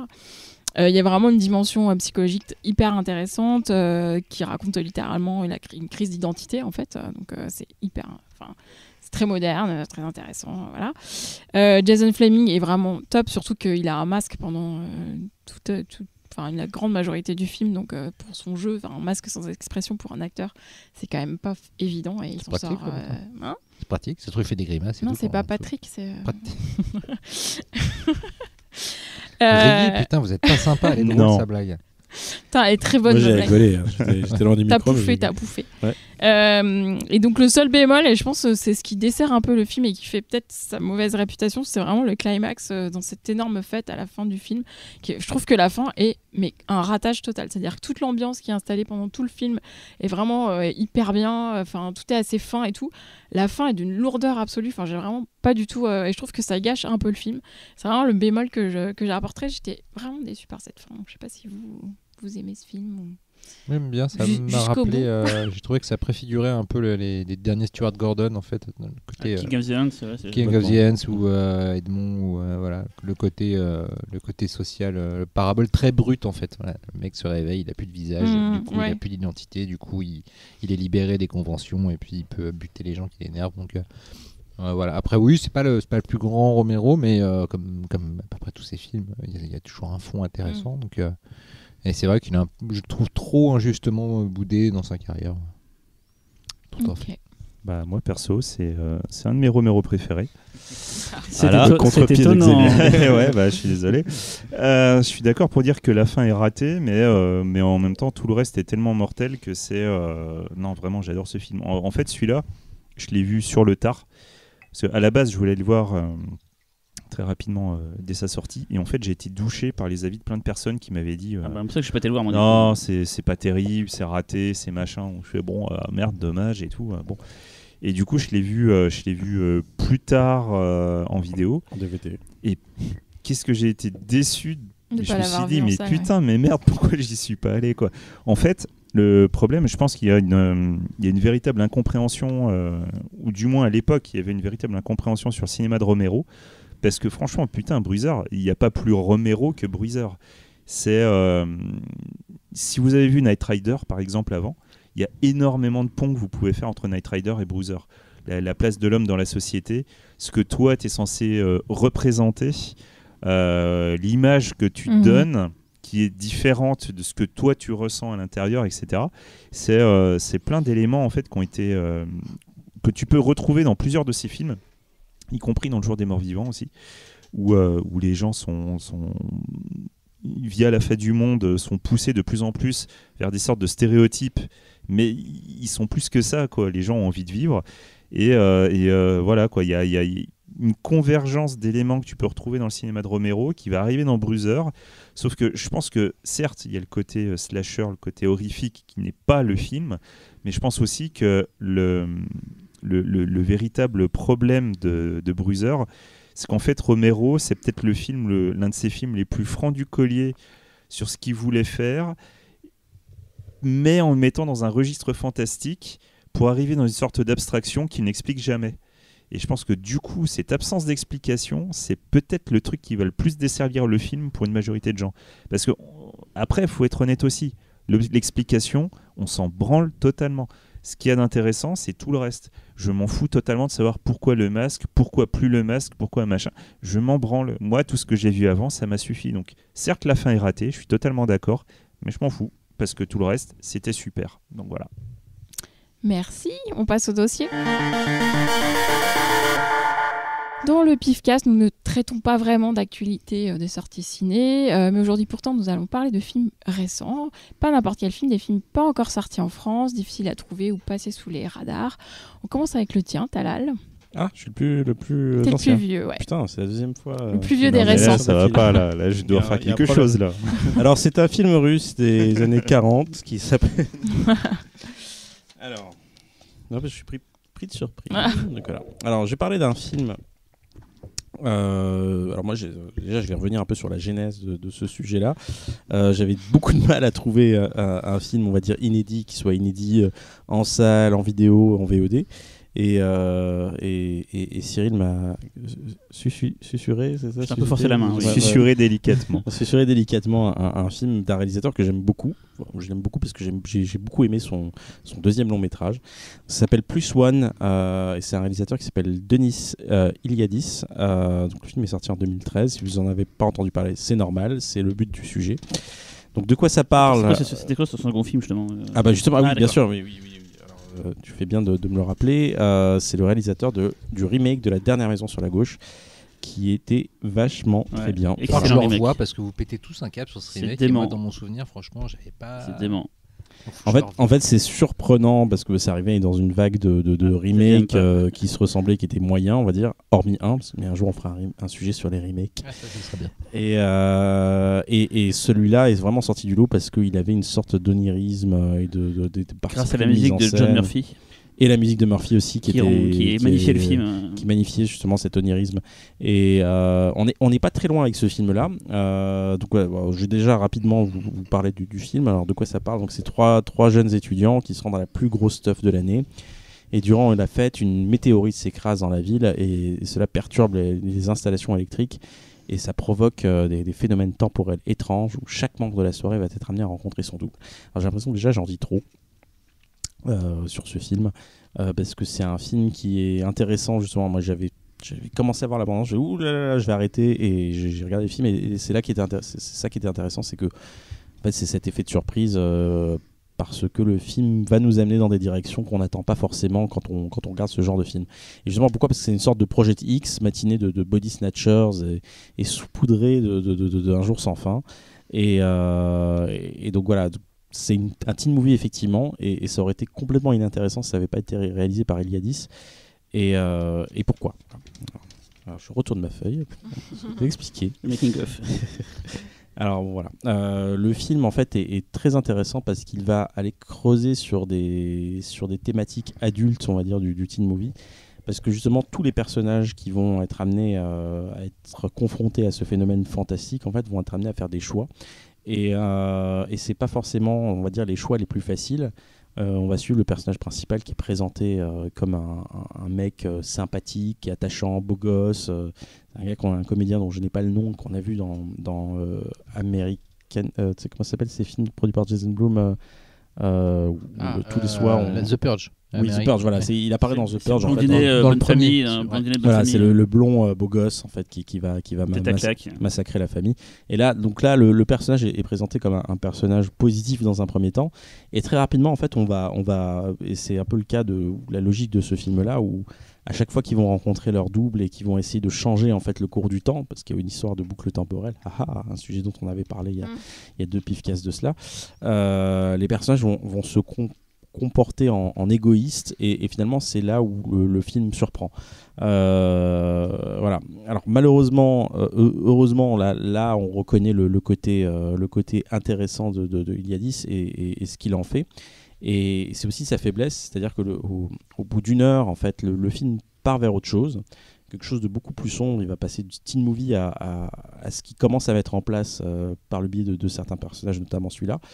Euh, et il y a un truc de maîtrise en fait qui n'est pas complet, qui fait que finalement, même si on comprend complètement les intentions du réalisateur et qu'on les approuve et qu'on les trouve cohérentes, surtout quand on a vu euh, ce qu'il a fait de la dernière maison sur la gauche du remake, euh, finalement on se retrouve avec une sorte de pétard mouillé où euh, quelque chose se met en place au fur et à mesure et ça ne marche pas. Voilà, c'est dommage parce que en fait on est souvent perdu et pourtant j'étais vraiment attentif, j'ai essayé de faire en sorte de, de, de me d'essayer de, tenir compte en fait de ces, histoires de temporalité qui se mettent en place, euh, qui, agissent comme des poupées russes. Et, ça nous amène vers une fin qui est finalement un peu déceptive, et, mais finalement très cohérente par rapport à son sujet. Voilà. Donc, je ne sais pas si je suis clair. En tout cas, euh, j'aurais aimé euh, aimé ce film. C'est bizarre, je choisis un film finalement que je n'ai pas beaucoup aimé. Je l'ai, je l'ai choisi pour son réal euh, parce qu'il y a, il y a, on sent qu'il y a un réalisateur derrière. On sent qu'il y a une vraie plastique qui se déploie au fur et à mesure et, une photo qui est très classe. Euh, alors j'ai noté le nom du chef-op, il s'appelle Mihai Mihalair Junior. Désolé euh, pour si tu nous écoutes Mihai. en tout cas c'est le chef-op de Coppola. C'est un jeune chef opérateur. Il est né dans les années 70. Il, mais il a quand même fait L'homme sans âge, Twixt mais et aussi euh, The Master de, de Peter Anderson. Parce que Twix, je serais lui, je serais pas fier c'est pas euh, bon voilà, c'est un, un roumain donc c'est ça on sent justement l'école roumain donc l'école de l'Europe de l'Est. Non non mais ce côté un peu austère tout ça et qui pour le coup est un est un est un est un virage à, non mais c'est marrant parce que autant Twix c'est une photo finalement très euh, stéréotypée cache misère autant dans Plus One voilà c'est plutôt clinquant euh, néon tout ça. très pop voilà et, et voilà c'est dommage parce que c'est un, un, un cinéaste vraiment intéressant déjà on n'avait pas vu hardcore je parle de il y a dit ça déjà on n'avait pas vu Hardcore, qui est son premier film, qui lui a permis de faire le remake de La dernière maison sur la gauche. On n'a pas vu celui-là, non plus One. Et on n'a pas vu non plus le dernier, qui est sorti, alors je l'ai découvert sur IMDb il y, a, à peu près un an ou deux, qui s'appelle Delirium avec Tuffer Grace, euh, qui reste inédit. C'est un film Jason Blum qui a eu beaucoup de problèmes et qui est sorti uniquement en Russie, je crois. C'est un film à problème, Delirium, c'est un film qui a eu une grosse situation compliquée sur la sortie. Euh. Problème de quoi? de droit en fait. Enfin, bref, c'est un film qui, a, qui est sorti, est sorti officiellement en Russie. Ah, tu l'as vu, il était dans notre boîte en fait, il était dans, dans, dans la line de la boîte en fait et il a disparu des radars parce qu'en fait euh, il y avait des trucs bizarres et finalement je sais qu'il est sorti quand même dans un pays, donc la Russie, et personne n'en a parlé. Il, hein. existe en vidéo je crois en, Espagne. Le trailer était très intrigant. Ouais mais personne n'en a fait un film qui a fait pouf voilà quoi. Donc c'est dommage parce que c'est cette vague de cinéastes on va dire des, des, des années 2000 euh, euh, ou début 2010 qui ont, qui ont fait des remakes, beaucoup ont percé après leur, leur, leur remake et et lui n'a pas eu cette chance. Et pourtant, c'est un, mec très talentueux. Il fait un film une fois tous les 8 ans. Et voilà, j'ai hâte de, voir le prochain film de Denis Iliadis. Et celui-là est, pas mal. Voilà, si vous avez l'occasion de le voir, regardez-le. Si vous aimez les teen movies, les ambiances, on va dire un peu euh, colorées, des trucs qui, nous, qui vous surprendront, allez-y. Mais bon, oui, il y a un côté euh, les lois de l'attraction rencontre Denis Darko un peu, euh, j'ai trouvé, mais sans jamais. Exactement. Malheureusement, sans jamais aller à fond dans l'un ou dans l'autre. Voilà, c'est le premier film. Après, moi, je trouve surtout que, au-delà de. Je trouve qu'il y a un vrai problème de rythme. C'est-à-dire qu'il y a un rythme interne dans les scènes, une espèce de flottement un peu étrange qui fait que les scènes commencent, on se dit, ok, ça va aller là. Certes, ça y va, mais ça prend un peu de temps pour y aller. Notamment tout ce qui est euh, déambulation dans la maison. On a, on a l'impression qu'il essaye d'établir quelque chose de, de ludique ou alors de nous faire comprendre des trucs, mais en fait, on a vite compris le principe une fois qu'on voit que disons que c'est pas un problème de bulle temporelle c'est-à-dire que ce, cette météorite crée des doubles Et en fait, les doubles ont été créés à un moment lambda qui fait que en fait, ils, ont ils agissent en décalé. Là, Et tu racontes des trucs. Oui, oui. Voulais dire. Oui, oui, Non, non, non, c'est ce que je dis, si, si, c'est ce que je Ouais, l'ai dit à demi-mot. Oui, voilà. Ouais. Donc, et, et, et donc, ce qui est vrai qu'il y a, il y a un côté un peu euh, déplacement euh, dans l'espace des personnages, puisque tous les gens qui ont existent à, à- à l'instant T vont à un moment donné se déplacer pour aller à un autre endroit de, de la teuf dans, dans la maison, qui est une espèce de grande baraque avec un immense jardin. Et c'est là que les autres vont après. euh, les, les doubles vont arriver un peu après, donc vont les remplacer. Et au bout d'un moment donné, tous ces gens-là sont, sont voués à se rencontrer. Et en fait, on a l'impression qu'il veut vraiment qu'on comprenne en, en multipliant les déambulations, les oh, bah, tiens, j'ai déjà vu ça, je vois. Et en fait, au bout d'un moment donné, on a envie de lui dire, mais en fait, on a compris le principe, mec, va, va dans ta narration, va dans tes personnages, etc. Et c'est un, peu le défaut du film, j'ai trouvé, qu'il qu'il y a un faux rythme étrange, mais qui est par contre qui est blindé de trucs intéressants. Ouais. Je trouve que le, c'est assez courageux que le héros se révèle finalement être celui le plus cynique, Ouais. là où ces deux sidekicks font des choix assez touchants et sont du coup je trouve se révèlent être les personnages les plus intéressants en tout cas les plus attachants mais il y a plein de trucs bien quand même dans le film Ah, tu vois Mais Moi, j'aime beaucoup ouais, le film. Qui vont pas jusqu'au bout. Non, non, mais c'est une- il y, a une- mais il y a une ambiance. C'est une ambiance. C'est un qui- film qui- il rafraîchissant. manque et- quelque chose mais Ouais. c'est vraiment Et pas dans le genre du pas voyage dans le pas temps, bien, hein, il, il utilise des trucs nouveaux qu'on n'avait pas encore vus. euh, à un point tel, en fait, tu vois. euh, non je suis pas d'accord je trouve que Ah, Time il Crimes dans le même délire va Ah dix oui. fois plus vite avec Ouais. euh, dix fois plus loin avec dix Ouais, fois mais plus là, de il y a plus de monde et c'est plus compliqué. Euh, Time Crimes, c'est justement, ça- c'est justement ça qui pose problème, c'est qu'à un moment donné, tu dis mais pourquoi ils vont là? Pourquoi ils font ça? Pourquoi ils se cassent pas? Et tu te rends compte qu'à un moment donné, bah, c'est aussi la, la réalité économique du film qui font que bah, tu as trois décors et tu peux pas aussi les tu peux pas dépasser ces décors. mais après il y a des trucs très drôles Xavier. après il y, a euh, des- il y a des trucs très drôles les, les deux stripteaseuses qui montent sur scène Ah, J'allais dire, il y a quand même des et filles tout, toutes nues et ça, sûrement, ça oui, t'a plu. oui, bah, Bim Voilà, c'est ce que tu as pensé du film en fait. C'est- c'est Non, non, non, euh, non, je. pff, Je, je suis pas, euh, je suis pas sous le charme. euh, Par contre, c'est vrai que l'image est très belle. Donc voilà, ça c'est un truc qu'on peut dire. Et les comédiens que- sont chouettes. En hein, fait, aussi. c'est ça, c'est qu'il y a- il y, a plein de choses qui commencent et ah ça y est, ça va partir dans telle direction. C'est assez enthousiasmant et c'est toujours un peu coupé dans sa dans sa lancée. Donc le film n'arrête pas de démarrer et, ça fait je bloque. et ouais, du coup euh, c'est un peu frustrant en fait. Euh, Donc du coup j'ai un peu décroché au bout d'un moment. euh, je savais plus quoi, plus les quoi attendre. Les comédiens sont bien pourtant. C'est ça qui est, qui est- qui est surprenant, c'est qu'on a vraiment envie de les, les, les suivre. On s'attache à eux très vite. La comédienne là, qui joue la, la petite amie euh, est fascinante. Je, trouve. je, je sais pas, j'ai scotché dessus quoi. Je sais pas comment elle s'appelle. Ah, je sais pas non plus. Ouais, elle est- moi, c'est ça, vraiment- ça, la, la rousse, la, la petite jeune, euh, Ah. sa copine. non, non, mais j'ai trouvé. Non, non, mais c'est pas ça. Je peux, je peux finir. Oui. Elle m'a rappelé le personnage de euh, l'héroïne de Six Feet Under. Ah, mais oui, Ouais, elle ressemble, elle ressemble, Carrément. Déjà, elle lui ressemble ouais. dans son mal-être aussi, dans ce qu'elle ouais. transpose, dans ce qu'elle Mm. transpose. Ah, non, mais parce que ah, Véro fait ah là là, c'est bon. Non, non, je parle pas physiquement. Je parle que le personnage, je le trouve touchant. Très, et notamment parce qu'elle rappelle ce personnage absolument sublime euh, de Six La Feet brune dans Sweet Hunter Non, la rousse, la, la jeune sœur. Ah, la jeune sœur, oui. Bah, qui, oui. oui. Voilà. Xavier Euh, alors en fait, moi, j'avais non, mais moi j'avais vu le film une, euh, une première fois euh, en festival, incapable de me rappeler lequel. Ah, Parce que oui, parce que suis on désolé. voulait l'avoir pour le pif celui-là, et en fait on n'a jamais pu l'avoir parce qu'il était acheté pour la France. Finalement, il a été rendu, mais il a fait- jamais fait de festival en France. Certaines personnes l'ont montré en France. Acheté pour la France et ils en ont rien fait. Bah du coup, le vendeur m'a dit c'est telle boîte qu'il a pour la France, Mm, et mm. finalement ils en ont jamais rien fait, donc ils ont rendu le film, et du coup il était un pour le pif, on, je voulais l'avoir, et j'ai pas pu l'avoir à cause de ça. Mm. Et, c'est- euh, et du coup, en fait, le truc qui s'est passé, c'est que moi, la première fois que j'ai vu ce truc-là, euh, je trouvais ça bien. Mais j'ai dû voir des films avant euh, qui, qui ont empêché un vrai visionnage, je pense. Du coup, ce qui fait que la deuxième fois que je l'ai vu, j'ai pas eu vraiment le même avis. En fait, mon problème avec le, le- le truc, c'est que moi, la première fois que je l'avais vu, j'avais apprécié. Et en fait, il y a un truc qui m'est resté en tête. Je vais pas vous dire quoi, mais un truc que je trouvais assez creepy, que je trouvais super sympa. Et du coup, au deuxième visionnage, en fait, j'ai trouvé que ça prenait mais trois plombes à arriver, quoi. Vraiment trois plombes. Je vois de C'est tu quoi parles. Voilà. Et euh, et je veux pas spoiler, donc je te dirai euh, hors, euh, hors émission. Et euh, en fait, le truc qui s'est passé, c'est que le, je pense véritablement que le film, euh, il aurait fait un excellent court métrage. Ouais. Et qu'en fait, euh, c'est pas euh, le mec a fait durer euh, une idée de court métrage sur euh, sur une heure et demie et, euh, et voilà, c'est beaucoup trop long. Je trouve ça beaucoup trop long. Voilà, moi je suis pas, c'est court. hein. je déteste pas le film, loin de là, parce qu'il y a des bonnes idées dedans. Après, je suis pas, euh, je suis pas fan du film. euh, voilà. Après, je parle après un deuxième visionnage. C'est autre chose. Je l'ai vu qu'une Voilà. fois, donc c'est pour ça que. Non, mais voilà. Non, mais la première fois, en fait, il y a- il y, a ce côté, t'as envie de savoir, t'as envie d'avancer. Il y a un truc euh, mystérieux. Après, je pense que le film ne fonctionne pas sur un deuxième visionnage. Voilà. C'est mon point de vue personnel. Mais le côté euh, l'attraction mélangé à Denis Darko, c'est vraiment un bon résumé, je trouve. Si on doit décrire le film, c'est un peu ça. Quoi. J'ouvre le bal sur ces, sur ces histoires de films euh, inédits chez nous. Et euh, en fait, c'est fascinant parce que le film, à part. Alors, il a ouvert sur, à South by Southwest en 2013. Je crois qu'il a fait encore un ou deux festivals, mais sinon, noyé dans les radars, sous les radars, je crois qu'il a, il a une sortie limitée aux US, mais sinon, dans le reste du monde, c'était vraiment que dalle, quoi. Et c'est très très étrange. Je suis curieux de connaître les, les, les histoires en coulisses de ce film-là parce que vraiment, euh, voilà, comme, euh, caché sous un tapis. Un film que nous avait parlé Laurent il y a deux semaines, euh, australien qui a disparu pendant des années. Mmh, bah c'est tout pareil. Très étrange. Alors vraiment, encore une fois, c'est un réalisateur qui mérite beaucoup mieux parce qu'il est très doué. Ton film, Cyril? Alors, mon film, du coup, c'est le meilleur de la, de la, toute la sélection. Mmh, donc, pas ça va être compliqué pour les autres. Ah, c'est pas faux.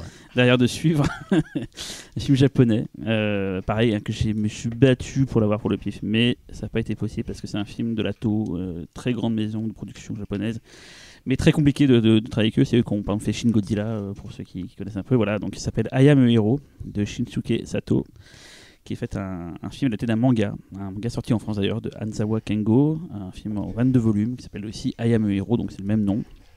Et on suit l'histoire d'un mangaka, en fait, euh, Hideo Suzuki, de, qui a 35 ans, qui est un mec assez craintif, assez peureux, euh, qui, qui est pas pas heureux dans sa vie, sa nana le, domine, il est vraiment pas bien et tout quoi. Et en fait, euh, là je vais faire très rapide, hein. il va se passer une invasion de zombies dans Tokyo, tout d'un coup tout le monde va devenir des zombies et il va devoir s'en sortir avec voilà et donc il va se sentir du coup pousser les, les, ailes et devoir mais tout en restant un peu un lâche et tout et donc on va suivre pendant quasiment deux heures son, son, périple euh, et, voilà, donc on va se dire encore un film de zombies, blablabla, machin et tout. Sauf que c'est juste peut-être un des meilleurs films de zombies faits ces dernières années. Je... Ce qui est rigolo, c'est qu'il est sorti un tout petit peu avant euh, euh Dernier Train pour Busan. Et, euh, j'aime beaucoup d'ailleurs. Hein. mais quand tout le monde s'extasiait sur Dernier Train pour Busan, j'ai mis ça, mais c'est bien, mais Ayam Hero c'est mille fois mieux. Et pourquoi c'est mille fois mieux? Parce que visuellement. Il de sortir en salle. Ouais, il est sorti en salle et, il était à Cannes aussi, il était à la, aux séances de minuit. Ayam Hero c'est un film qui déjà visuellement est, sublime, c'est un, film en scope euh, extrêmement bien maîtrisé. Le réalisateur, en fait, euh, est un peu un vétéran, il avait fait euh, pas mal de films au Japon, dont Princess Blade, c'était son premier film, qui était un film sympa, mais sans plus, un peu à la. À la comment s'appelle le film de, de, Kitamura Azumi Voilà, c'est un peu un truc à la Azumi. Il a fait les adaptations du, du, manga Gantz, qui est un manga ultra, ultra violent. Il en a fait deux adaptations qui n'étaient pas, pas, euh, pas dingo, mais qui n'étaient pas nulles, je crois. C'est pas mal, ouais. C'est pas mal, ouais.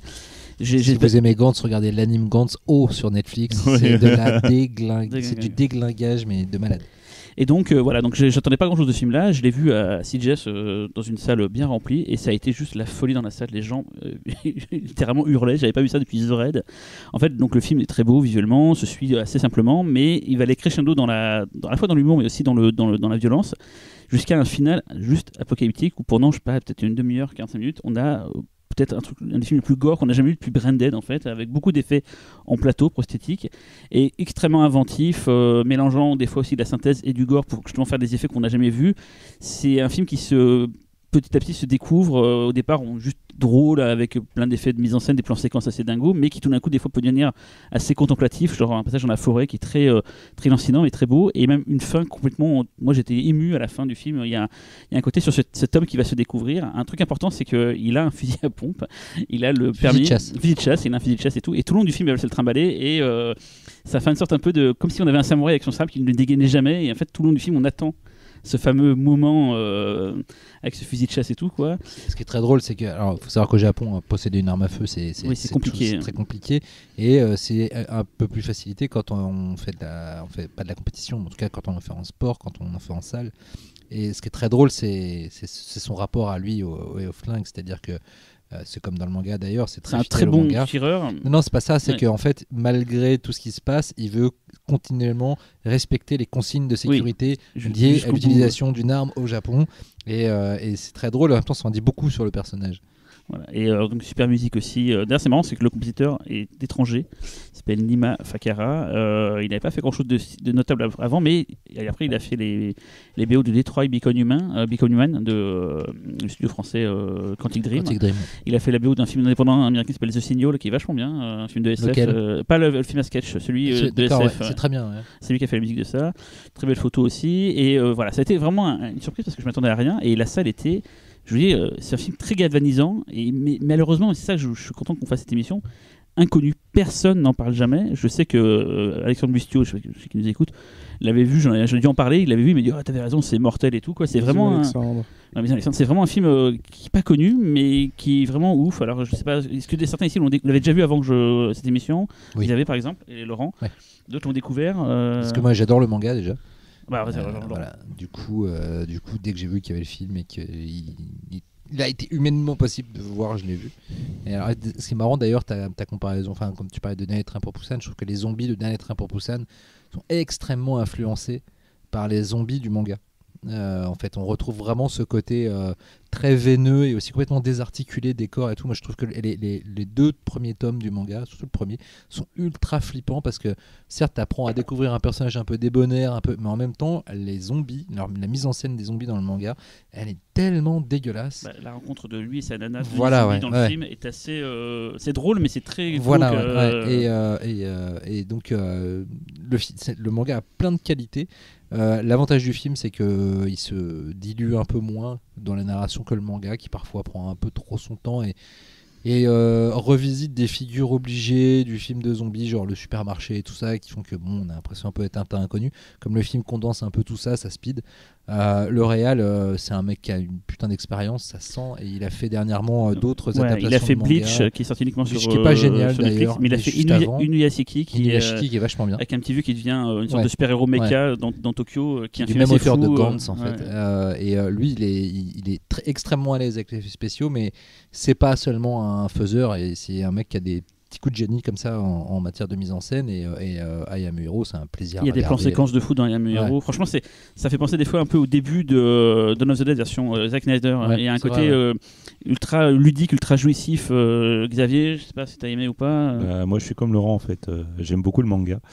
Euh, d'ailleurs, grâce euh, au podcast, je me suis rappelé que je n'ai toujours pas vu la fin du manga, donc il euh, faut vraiment. J'allais poser la question, on est où avec le manga 22 Non, il est fini, 22 tomes, c'est fini. Ouais. En France aussi ouais. tout a été édité et, et du coup, il faut vraiment que je lise la fin.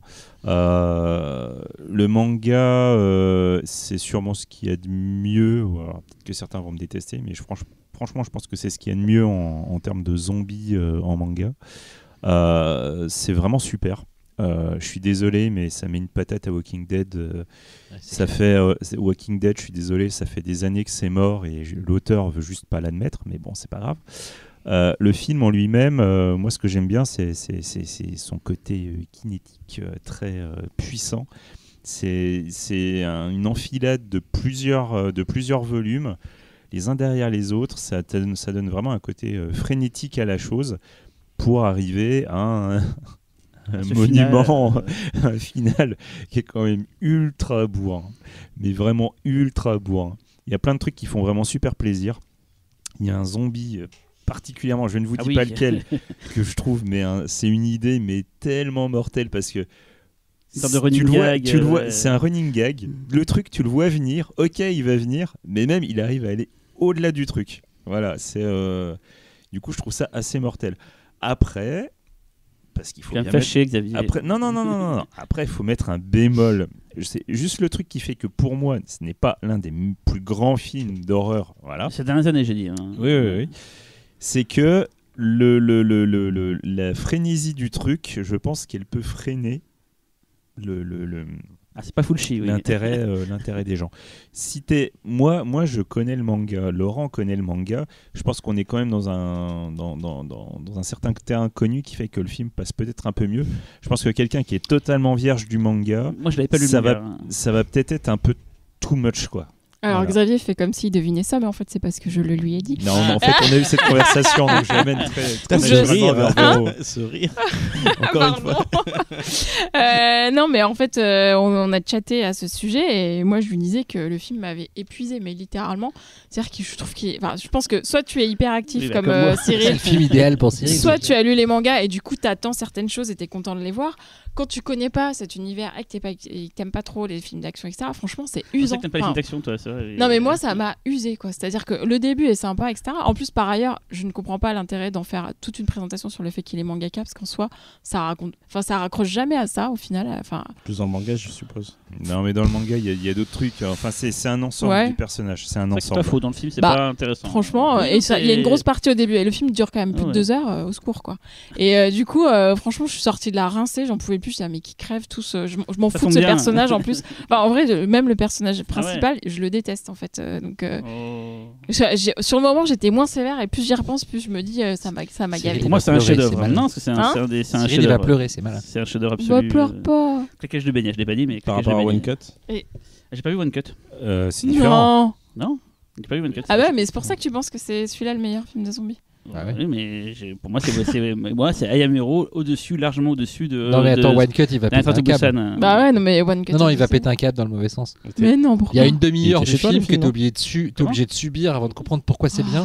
Mais lui, c'est le Hyperactive Man. Fort heureusement, d'autres personnes avaient vu One Cut. Euh, T'as l'air surpris que j'ai pas eu One Cut et peut-être d'autres gens qui vont écouter ça vont être surpris. En fait, on est plusieurs à sélectionner et j'ai pas forcément le temps de voir tous les films. Donc, ça, c'est un film qui a été vu par Fausto, qui avait adoré. Donc voilà, mais je l'ai pas vu du coup, euh, c'est pour ça en fait. Il y a plein de films que je vois pas des fois. Non, non, mais je sais que tout le monde a fissuré sur One Cut of the Dead ces derniers temps. J'ai toujours pas vu. I Am Hero, je continue à dire, c'est un film important et vraiment. Euh, après, I Am a Hero One Cut, c'est juste. Rien à voir. Non, rien à voir. il n'y a pas de débat. Il y a pas de débat deux films différents. Ok, des zombies, mais euh, Même voilà quoi. Euh... I Am a Hero?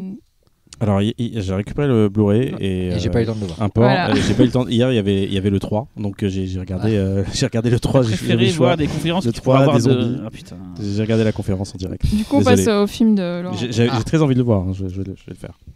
Alors, mon film. mon film est un film que moi-même je ne connaissais pas. Enfin, si je connaissais le titre. euh, non, quand, quand, hein. quand, cette thématique est arrivée, j'ai euh, eu d'abord envie d'essayer de, de, faire un pied de nez et d'aller chercher un vieux truc jamais sorti. Et donc, euh, tout de suite, mon esprit s'est dirigé vers The Cat, le film hongkongais, euh, sur un chat extraterrestre euh, qui vient envahir la Terre. Mon Dieu.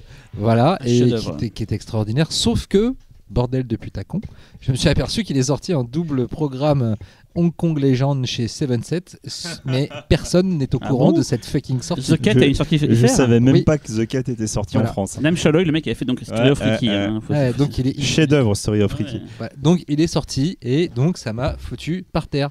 Donc euh, je me suis un petit peu, j'ai un peu réfléchi à tout ce qui, tout, ces, cette myriade d'inédits. Euh, qui existent euh, et qui ne sortent jamais, même, même en VOD, qui un jour on verra certainement débarquer au détour de.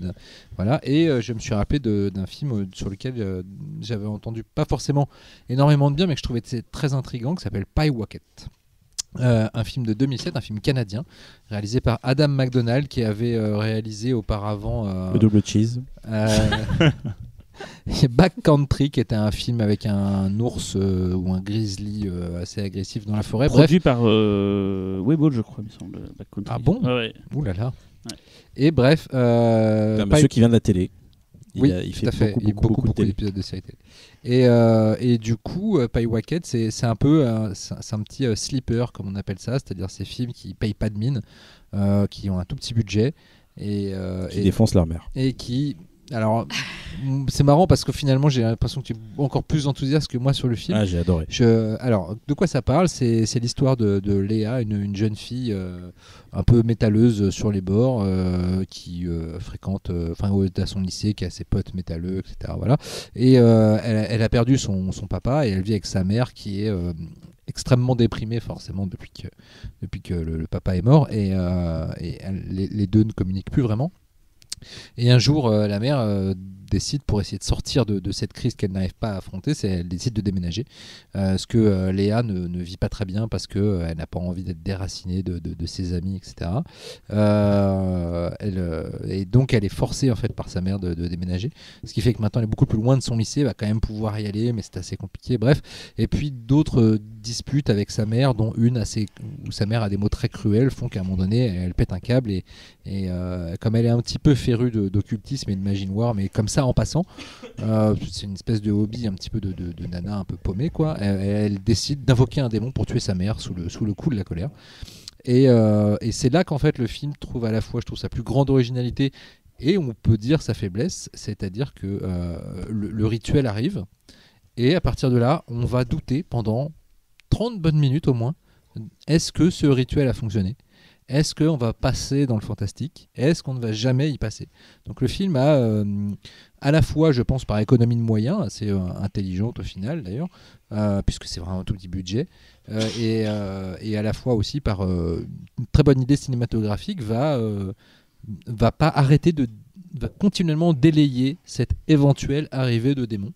Ce qui est à la fois, je trouve, la puissance du film et aussi sa faiblesse, c'est qu'au bout d'un moment, on a envie de dire est-ce que tu peux m'expliquer ce qui va se passer?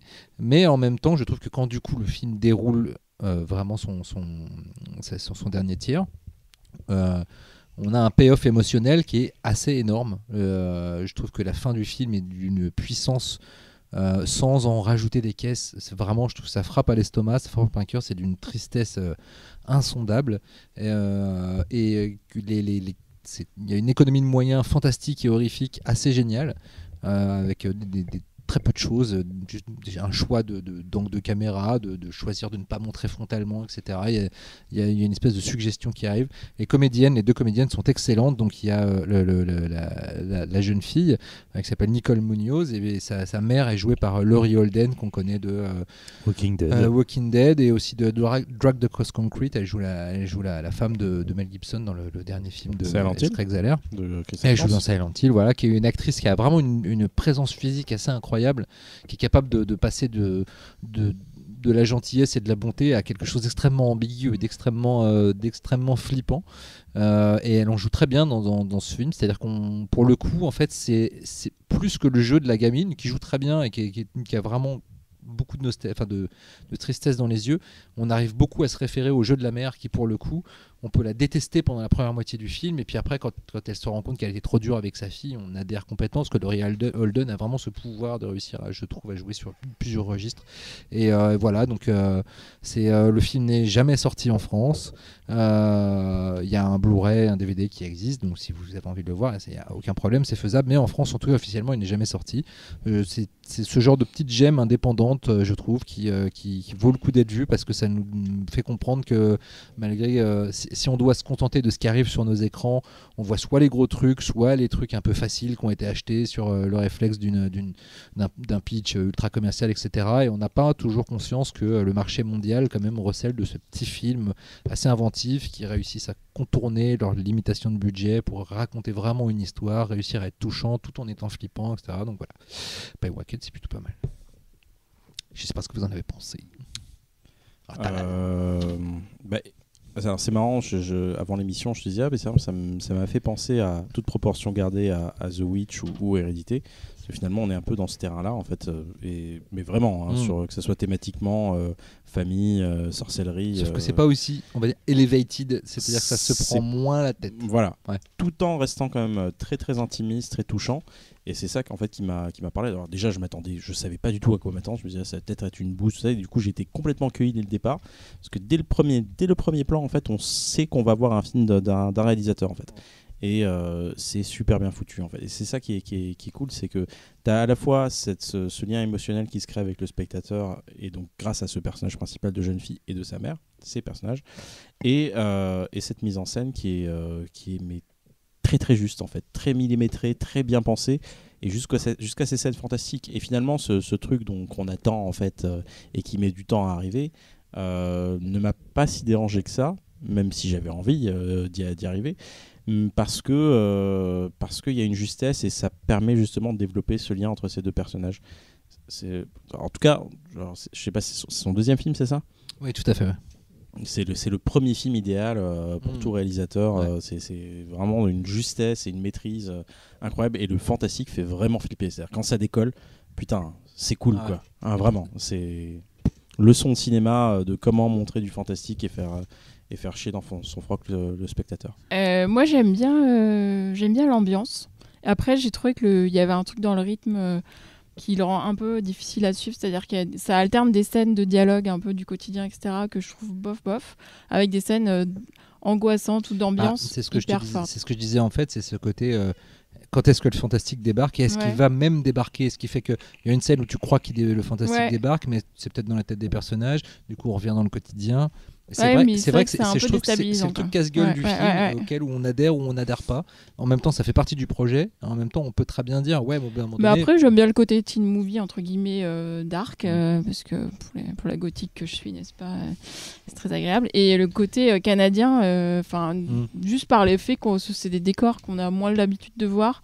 je trouve ça vraiment des paysans quand même. D'ailleurs, j'étais curieux d'avoir particulièrement ton avis parce que moi n'étant pas un métalleux, euh, j'avais moi non plus. Non mais t'as là les plus que moi. je veux dire c'est que c'est une culture dans laquelle vous baignez plus et j'ai trouvé que le au début je me suis dit que le personnage était très casse-gueule, métal égal magie noire. Enfin tu vois j'avais j'avais peur que ça parte dans commun.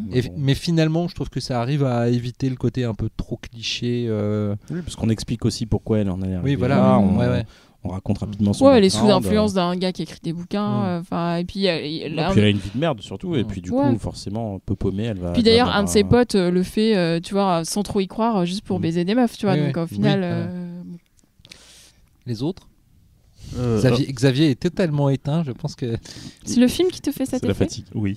D'accord ok. Non mais je suis désolé moi je c'est pas grave je vais m'occuper de ton film après mec je me doute. euh, Non, mais rien à dire. Juste, j'ai pas adhéré au film du tout. Voilà, c'est à côté. Totalement, mais, mais vraiment totalement. Il y a des trucs qui sont bien dans l'absolu sur le papier, il y a des trucs, je te dirais, oui, il y a des bonnes idées et tout, machin. Euh, Laurie Holden, elle est top, mais comme d'hab, en même temps, je te dirais juste, pas. Voilà, c'est pas un film pour moi. Hmm. Voilà, juste, pas pour moi. Pas pour moi. T'aimes pas les jeunes non. je veux dire, je suis entre les deux. C'est que, euh, au final, je ne suis pas plus accroché que ça au film, mais si tous les films qu'on voyait pour le PIF pouvaient être aussi bien écrits, des personnages aussi bien euh, campés, avec des émotions. Enfin, j'ai trouvé ça tellement juste, la relation entre la mère et la fille. Il y a plein de trucs qui m'ont touché. Je me suis dit, c'est limite euh, con au final ce soit pas aussi bien que ce que ça, allait amener euh, voilà mais si beaucoup de gens pouvaient... parce qu'en fait c'est un film qui coûtait pas grand chose mais juste voilà faites des bons personnages qui soient crédibles avec des relations entre elles et ça c'est j'ai trouvé ça vraiment très très beau. C'est un très beau film mais malheureusement le côté fantastique m'a pas plus plu même s'il y a une scène à la fin un peu avec la mère dans le lit et tout qui m'a vraiment euh, saisi quand même. Mais voilà c'est c'est voilà, prenez des la graine les, les, apprentis réalisateurs juste regardez ce film là vous voyez qu'avec juste Hein, prenez le temps de bien écrire vos personnages, de les rendre euh, plausibles et ça fait tout de suite la mmh. différence. Vous, l'avez pas vu, euh, vous, pour le pif, euh, ce film? Il est pas passé dans vos... On a des gens de l'équipe l'ont vu, l'ont écarté. voilà, quoi. Moi, je l'avais pas vu du coup parce qu'on a un système entre nous en interne. Voilà, du coup, le film a été écarté de, de, des sections. Donc, j'ai découvert cette fois-ci. Je me même dit, tiens, c'est marrant qu'on soit passé à côté. Mais effectivement, non, non, quelqu'un de l'équipe l'avait vu, l'avait écarté. Quoi. Je, serais curieux de voir savoir combien. Je me suis pas renseigné, savoir combien ça a coûté. Ça a coûté plus d'un million, franchement. Non, pas peut-être un canadien. 7000 dollars, Après, après c'est, fou que, qu'on n'en ait pas du tout, du tout mm. entendu parler, surtout après, la, après le, gros succès de The Witch, même si c'est quand même assez différent. Oui, t'as, toujours des, toujours des opportunistes en marketing qui vont surfer mm. sur des trucs, et ce truc-là. The Witch, t'avais A24 derrière, t'avais euh, pas mal de festivals. oui, mais qui n'a pas été récupéré par justement ces, boîtes indépendantes. C'est dans une autre euh, cour en fait. C'est euh, ah, plus le budget et plus indé que The Witch. Super classe quoi, en termes de réel. C'est pas critique, hein. c'est juste voilà, comment fonctionnent les systèmes américains. C'est vraiment encore c'est plus petit film. C'est vraiment le film indé, alors que The Witch, quand même, même si c'est indé, il y a quand même plus de gens derrière. Quoi. Euh, c'est au tour de Xavier. Haha J'en connais un là-bas. Ah, j'ai ma, bouteille, ma bouteille bière vide, de, bière vide que je vais te la lancer en pleine tronche. Moi, je suis dégoûté d'une chose, on, en parlera après. Alors, euh, pour remettre les pendules à l'heure, tout de suite, euh, à chaque fois, j'ai un peu la réputation de sortir des films euh, perdus du fin fond de Tchécoslovaquie qui datent de 1950. Je sais pas pourquoi tu dis ça. Et en fait, pour cette émission, je vous ai sorti un bon gros blockbuster euh, de derrière les fagots. De son pays. Voilà, évidemment. donc moi, je vais vous parler de Satan's Slave de Joko Anwar. Voilà. Joko, si tu nous écoutes, bisous, bisous. Oh, on connaît bien Joko en plus. Ah Joko, adorable. Une personne exquise. Non, mais vraiment, en plus. C'est un, mec, c'est un bisseux super sympa et un mec en or, Et, euh, et, du coup, euh, à la base, en fait, effectivement, euh, avant de connaître son, son cinéma, enfin, je connaissais un film. Et en fait, c'est via ce film que du coup, j'ai pu rencontrer le monsieur, passer une semaine avec lui. Et, et en fait, j'ai tellement, j'ai tellement adoré le, le, bonhomme que du coup, je me suis intéressé à ses filmographies que franchement je recommande. Quoi. Il, y a, vraiment des trucs super dans sa filmo. Quoi. pas que fantastique d'ailleurs. Hein. Il a fait des films. Tout à Copy fait. of My Mind, apparemment, c'est très, très ouais, bien. Copy of My Mind, c'est super. Quoi.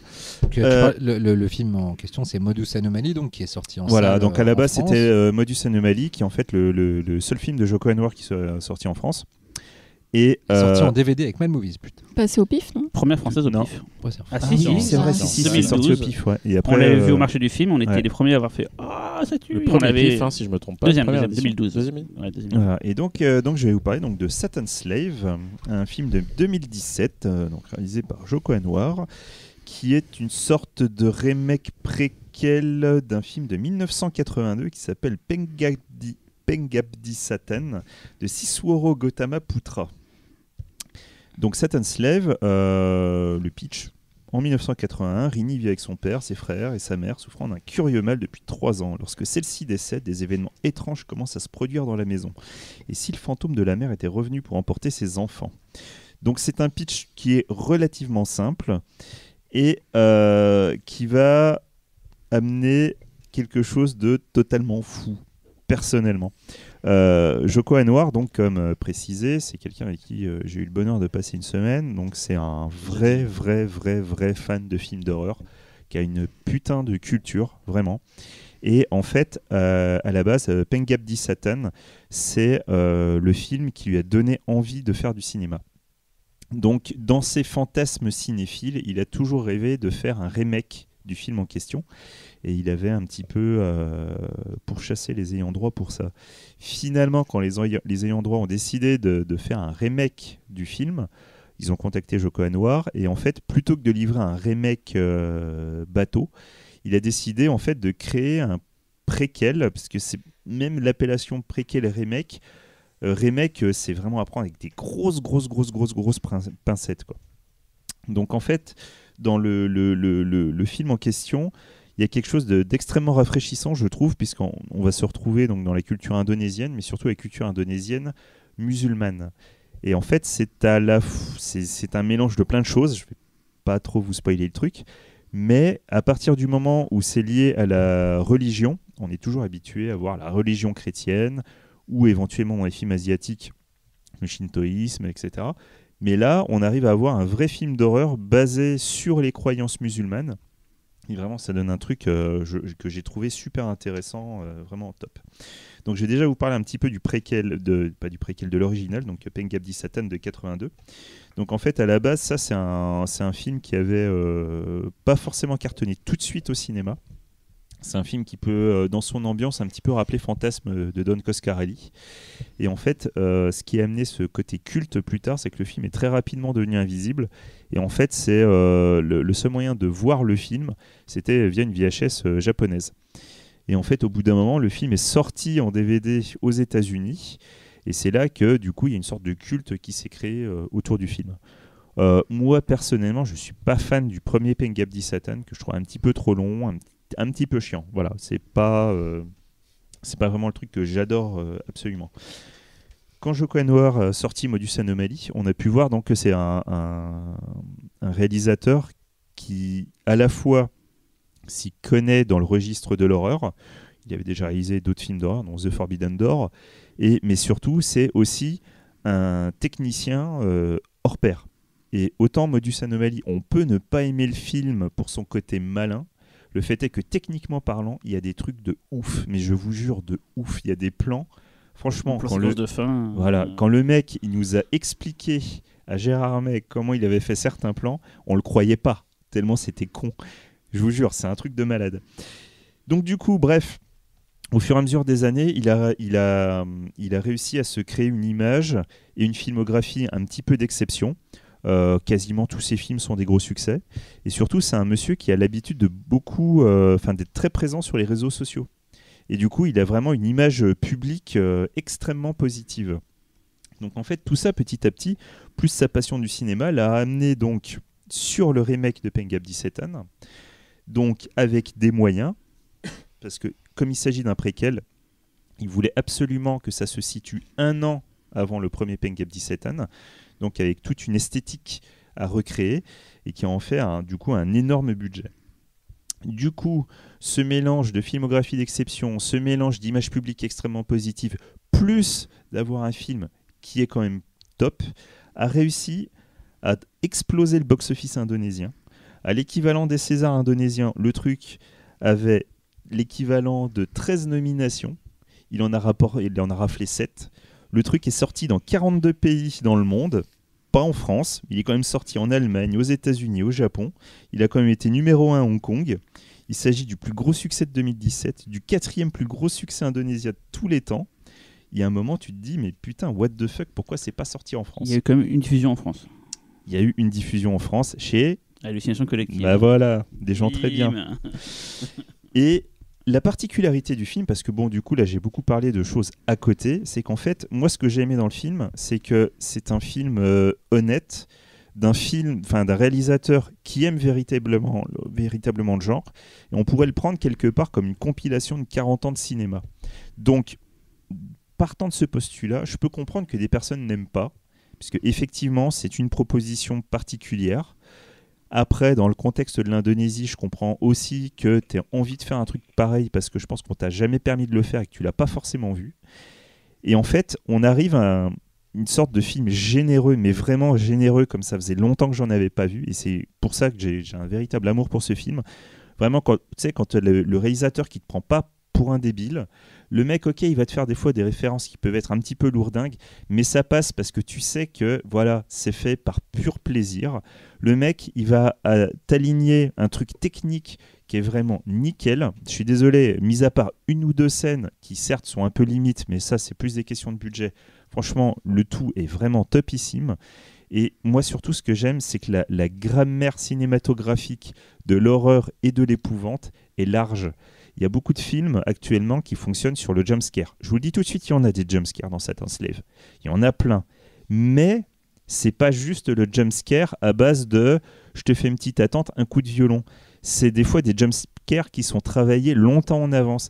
Et c'est justement là que je trouve la, chose intéressante, c'est qu'il arrive même à transcender une figure qui est bannie, qui est honnie par tous les fans de films d'horreur actuellement, donc le jumpscare, qui est seulement apprécié par on en pense le fan, le faux fan de films d'horreur qui n'aime pas vraiment le genre, qui va aller regarder Annabelle par exemple.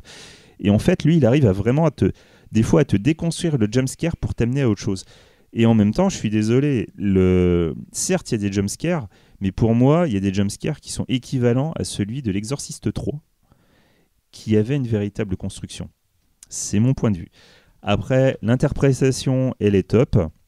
L'actrice principale, on a pu la voir dans euh, Copy of My Mind. C'est une actrice qui est toujours super. Euh, la musique est top. La musique est vraiment top. Je suis, euh, franchement, en film indonésien, j'en ai vu quand même plusieurs. J'ai vraiment adoré la musique. Il y a vraiment quelque chose, tu pourrais le sortir du contexte indonésien et te dire, voilà, quoi, c'est un truc que tu aurais pu balancer sur un film américain ou autre.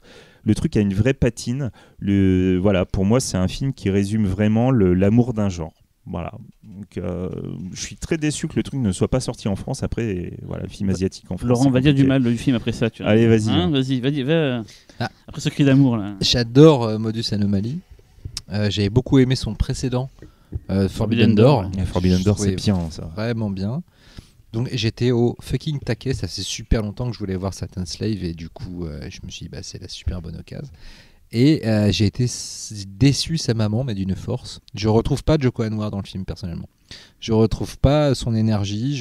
J'ai l'impression de voir, euh, comme tu dis, une compilation. Euh, le mec qui s'est fait plaisir dans une compilation, mais une, compilation de, scènes de flip.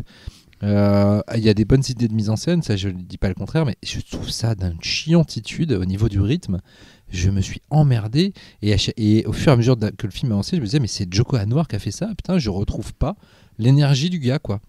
Et, euh, et, non, j'ai été mais vraiment extrêmement déçu. Euh, tu vois, pour tout dire, je préfère the, Devil euh, Take You de Timo Giacinto, tu vois. Ah, t'es vache, là. ouais, qui, vache. Qui, est certes un film maladroit, mais, mais qui t'en met plein la gueule en matière d'horreur. Qui est aussi indonésien. Qui est, aussi indonésien et qui est, disponible sur Netflix. Et qui a une compile aussi. Qui est, mais, en fait, c'est les, deux films se ressemblent beaucoup. C'est deux compilations euh, de, de, de, de, clichés horrifiques. Sauf qu'il y en a un qui est plutôt du côté euh, Sam Raimi et puis l'autre qui est plutôt du côté. Euh, oui, mais le Timo, il est plus euh, route, c'est-à-dire il est plus fait avec des bouts de ficelle, plus un côté euh, euh did, yourself, alors que le film de Joko a un bah, côté plus carré. Ouais, mais, finalement, je trouve que dans l'énergie brute de Medieval TQ, j'ai ah, plus de. C'est deux, deux, écoles. Hein. J'ai plus de. Pourtant, j'adore le fantastique posé. Hein. Je suis pas en train de te dire mhm. que c'est chiant parce qu'il se passe rien. Le fantastique posé, j'adore ça. Mais là, le problème, c'est qu'en fait, le... je trouve que le film tarde tellement à nous attacher à ces personnages euh, que euh, qu'au bout d'un moment donné, en fait, juste, il, me paume, quoi. il me paume et il m'attache pas. Je, ok, il rentre dans la pièce, je sais qu'il va avoir peur parce qu'il y a la musique qui arrive, et puis oh là là, bah, si, si, elle est pas dans le lit, elle est peut-être euh, devant la fenêtre, ah, bah, finalement elle est dans le lit, et, puis la scène suivante, c'est, l'inverse, elle est pas devant la fenêtre, elle est dans le lit. Et au bout d'un moment donné, j'ai ok, il y a une histoire, il y a des personnages, il y a un truc, au lieu que ce soit une espèce de compilation justement comme ça de, de, scènes malines en termes de mise en scène, mais juste pour moi, il n'y a, vraiment pas grand chose autour, et j'ai été très déçu. Moi, je suis parti de ceux qui aiment bien le film. Pas, je pète pas un câble dessus, mais je trouve ça vraiment très intéressant. J'avais peur quand je l'ai montré justement à Lyon que ça ne marche pas parce qu'en fait, la peur est pas la même dans tous les pays. C'est comme le rire en fait. Euh, et je sais qu'en Thaïlande, par exemple, ils flippent sur les têtes qui volent et machin et tout, alors que nous, ça nous fait rien, mais là-bas, eux, ça les, ça les rend fous. Donc je me suis dit, j'espère que la, la, peur telle qu'elle est montrée dans certaines scènes va marcher à Lyon. Je crois que ça a assez bien marché. Moi, ce qui m'avait vraiment plu dans le film, il y, a des défauts. Hein. Je, suis aussi un peu, comme dit Laurent, mais. j'ai dit hein, qu'il y avait des défauts. Hein. ce qui me plaît, c'est qu'il y a de l'inventivité d'éléments. Il y a des trucs que j'ai jamais vu ailleurs. En fait, il y a des, je sais plus trop, mais les effets, je me dis tiens, ah ça c'est pas mal. C'est des trucs des fois de plateau. Et ça c'est vachement bien. J'aurais jamais pensé qu'on puisse faire ça. Et je sais plus le truc en tête, mais ça m'avait marqué quand j'avais vu le film. Et je me dis tiens, c'est là où j'ai trouvé Joko, c'est qu'il y a de la l'inventivité dans, dans la façon de vouloir hmm. raconter les choses qu'on a déjà vu une fois. Il y a de l'inventivité. On dirait du James Wan neurasthénique. Mais moi, pour moi, pour moi, en fait, mais en fait, moi, je pense que le, c'est une sorte de James Wan indonésien. Alors après, c'est, un James Wan indonésien qui n'est pas encore, qui est pas encore arrivé au stade James Wan, mais il a, il a, il a toutes les armes en main pour le faire. Le, le truc, c'est que là, là où le petit détail que je voudrais rajouter pour vraiment montrer à quel point le mec c'est un amoureux du genre et, euh, et que le mec il est vraiment pas con, il est vraiment malin et tout c'est que la notion de, remake vis-à-vis du premier Pengap 17 c'est euh, quand, tu, quand tu as vu les, deux, c'est que le, le, côté remake en fait vient clairement des impressions qui lui sont restées quand il était gamin qu'il a vu le film. Clairement, le mec, il a flippé quand il a vu le premier. Et en fait, il a gardé uniquement les éléments qui l'ont fait flipper dans le film. Et par exemple, l'asthme, L'asthme, en fait, dans le premier, a une toute petite, euh, toute petite importance, mais dans quelques scènes qui peuvent faire flipper un enfant. Et en fait, ça, clairement, ça l'a tellement fait flipper qu'il l'a rajouté et ça devient un, vrai, euh, une vraie technique pour faire peur dans son film. Il y a plein de petits détails de ci, de là. Après, d'un point de vue euh, purement structurel, il y a un moment, il va même t'expliquer que son film n'est en fait pas un remake, car dès le début du film, la moto de Tony n'est pas celle de Tommy du premier film et en fait il la revend tout de suite. Et en fait le mec j'ai trouvé ça super malin parce que d'entrée de jeu tu as cette scène où il revend sa moto. Certes quand tu connais pas le premier film ça te, ça, te parle pas ça, te parle pas du tout. Quand tu connais le premier film es là tu fais ah ouais ok donc c'est un message que tu m'envoies clairement à la face pour me dire tu vois ce que tu as vu avant c'est pas ce que tu verras et le truc c'est que Pengabdi Satan au final va devenir le troisième d'une trilogie donc celui de 82 le Satan's Slave devient donc le premier de la trilogie. Il y a une suite qui est annoncée, qui est censée faire le lien entre les deux. Et quand vous connaissez les deux films, franchement, j'attends que ça pour savoir comment il va faire pour passer de ce film-là à Pengabdi Satan. Surtout avec le personnage de Darmedra. Mais je vous en dis pas plus. Eh bien, moi, j'étais un petit peu déçue parce que euh, je pensais voir un film indonésien.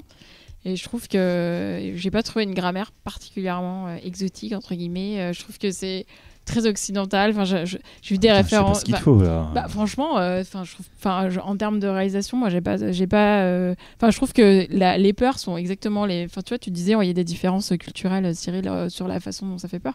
Là, c'est exactement ce à quoi on est habitué. En plus, ça vient en 2017. On a tous été baignés aussi de cinéma japonais, et franchement, ça lorgne aussi pas mal vers ce cinéma-là, sur les effets horrifiques et, oui, et clair, Ça fait très J-horror. Bah, complètement. C'est ça qui est marrant, c'est que vous trouvez que ça fait très très J-horror. Je vous jure regardez le premier Pink Dab 17 Non, mais nous, on a vu celui-là. Non, mais oui, non, mais je suis d'accord. je, ah je veux bien mais justement, je te dis, mais dans les années 40, je te jure, il y a plein de scènes de Pink Gap 17 vous les retrouvez dans, dans le film en fait. Hein. Non, mais quasi- certes, mais la manière Après, dont c'est euh, mis avec la mer, euh, les La G-Horror, ça remonte aux années Non, mais 50 oui. aussi. Non, mais vois. tout à fait. Mais les, les scènes avec la mer, je vous garantis. Et hein, tu vois, c'est des bah, trucs, euh, euh, la mer, euh, qui, euh, moi, ça m'a fait penser à Cimetière. Donc c'est il y, a- il y a du Stephen Mm. King avec Ouais. la mer qui est à l'étage, euh, tout, tout le monde n'a pas envie d'y aller, etc. Enfin, Ou à, ou à Friedkin. C'était Friedkin le- cet épisode de, de, la, de la cinquième dimension Ah, cinquième dimension. C'est Friedkin, je crois qu'il avait réalisé. euh, Après- Possible. Après, le film est quand même super efficace, c'est-à-dire que je trouve vraiment effrayant. Du coup, Bah, j'ai j'ai juste une déception par Ah, rapport à, c'est un à film son, efficace. hein, à son ça, pays d'origine euh, et que j'aurais voulu être. Et, tu parlais de la culture musulmane, c'est quand même pas. euh, c'est ah, Ouais, d'ailleurs un peu clair. dommage, c'est quand même pas très exploité. C'est-à-dire qu'on voit la fille prier un ou deux moments, on voit un- euh, des funérailles musulmanes. Ok, bon bah soit euh, il y a écrit des trucs euh, en langue arabe, bon bah voilà. Euh, mais après, euh, toute la fin, tu vois, enfin, je vais pas spoiler euh, ce qui se passe à certains moments, mais tout ce truc autour de Satan, etc. En vrai, on n'en sait, pas suffisamment pour que ce soit. Je trouve qu'on n'en sait pas assez et c'est un peu frustrant aussi. Donc finalement, c'est tout, toute une, euh, comme tu dis, une espèce de compilation de scènes euh, qui font peur, qui sont hyper efficaces. Donc clairement, je les regardé en début d'après-midi et le soir quand je me suis couchée, j'ai un peu flippé. Mais, mais du coup, enfin, sauf que, enfin voilà, après sur le fond, je reste un peu sur ma faim.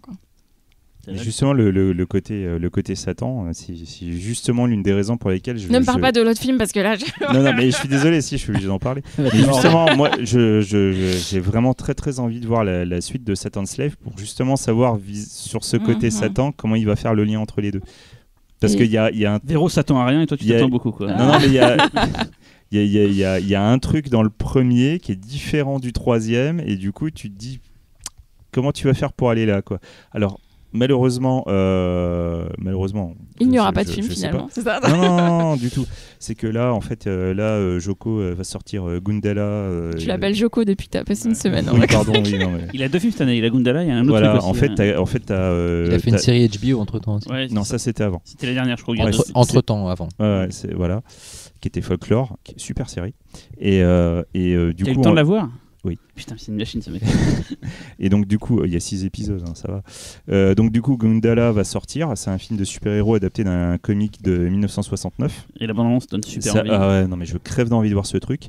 Et en fin d'année, il va sortir un petit gore. Alors certes, il y a une partie du casque de du casque de Satan's Slave, mais ce n'est pas la suite de Satan's Slave. En fait, la suite de Satan's Slave a été annoncée, mais entre-temps, il a fait un contrat de trois films avec une autre boîte euh, pour trois films d'horreur. Il est- Alors, un petit gore n'est pas la suite de Satan's Slave, et franchement, vu le titre des deux autres, je doute que le- la suite soit là. Donc, euh, je suis pas prêt de la voir. Talal, tu l'as Ouais. vu toi? Je- euh, non, je l'ai pas vu, j'ai pas eu le temps, euh, malheureusement. J'ai, mais par contre, je me suis. euh, je, je- je- parfois, je, je vais sur le net pour essayer de voir s'il n'y a pas des Blu-ray disponibles. Et donc, euh, je commande ce Blu-ray sans forcément voir la jaquette, tout ça. Et je reçois un Satan Slave euh, des années 70 de, De Norma J. Warren. édité par euh, Neo Bien Publishing. sûr, et je mais me suis oui. dit, ça, c'est un coup monté de Xavier euh, pour que j'achète un, un DVD Neo. Donc voilà, j'ai, un DVD Neo que j'ai, payé la peau du cul que je vais renvoyer euh, d'ailleurs à, à l'acheteur. Donc voilà, je, je n'ai pas pu voir le film. Et j'ai, en- en- après, en vous écoutant, je- j'arrive pas à m'empêcher. Alors c'est peut-être aussi, euh, peut-être que j'ai tort, hein, j'ai d'autant plus que je n'ai pas vu le film, donc je peux pas juger. Qu'il y a une forme de tolérance, on va dire, par rapport à. hum, Je, prends des grosses pincettes en, disant ça. hein, par rapport au fait du fait que le film est asiatique d'une certaine façon, et je sais qu'il y a une vraie fascination euh, pour l'Asie autour de cette table, et euh, parce qu'on parle quand même de, cinéma très référentiel, et, euh, et que paradoxalement, en fait, on, on- on accepte beaucoup de choses en fait qu'on n'aurait pas accepté. Quand le film a cartonné là-bas, hein, mais comme jamais, hein. il a dit Xavier. Et- Bah truc oui, de sauf fou, hein. que- ça, ça, ça m'étonne pas. Non, mais non, après, non, après je parle, je parle d'un regard. Pour eux, c'était. Je parle d'un regard vu, occidental. hein. Je parle d'un regard occidental, donc d'un Mm. regard en fait de, de cinéphile qui, qui, a- qui a, qui a brassé Moi- dans, moi- non, mais dans moi, tous les, dans tous les contrées. Est-ce que, est-ce que tu es 100% partial Très honnêtement. Franchement, franchement j'aurais vu, j'aurais vu un ride pareil en version américaine. Moi, j'aurais, j'aurais autant adoré. quoi. En fait, c'est ça. je- c'est- Oui, c'est un ride. oui, Mais non, je mais justement, hein, c'est, euh, je trouve que c'est le ride le plus long de l'histoire du ride. c'est ça le problème.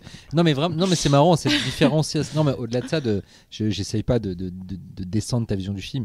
C'est je questionne notre différente, euh, nos différentes réceptions du film. Alors, Moi j'y ai vu un truc, mais chiant comme la mort avec avec des moments de brillance de mise en scène de temps à autre. Matt, Matt le premier, tu vas voir, tu vas comprendre ce que c'est le chien. du premier. Oh putain, c'est. euh, Ah, c'est bon, merci. C'est comme si tu parlais J'avoue, des, le des deux revoir, tours c'était et que t'avais pas vu la communauté de l'anneau. Ouais, c'est ça. En fait, c'est pareil. Le dernier, Euh, bon, on peut c'est- parler du meilleur film c'est là Comment ça se passe? C'était Ah, vas-y. Euh, Véro. euh, Je vais m'occuper de ton film. On peut parler. oh, oh, je peux vous dire un truc? Welcome in the sphere of the retail. Oh. oui, Alors, je vais parler de In Fabric, euh, écrit et réalisé par Peter Strickland. Euh, c'est un film qui date de 2018, qu'on a passé au PIF fin 2018, qui est passé aux hallucinations collectives. Première française, je crois. Euh, et qui a reçu le prix du jury d'ailleurs. Euh, il, va sort, donc il sort en Angleterre, donc c'est un film anglais, il sort en Angleterre le 28 juin, donc au moment où on parle, il serait sorti.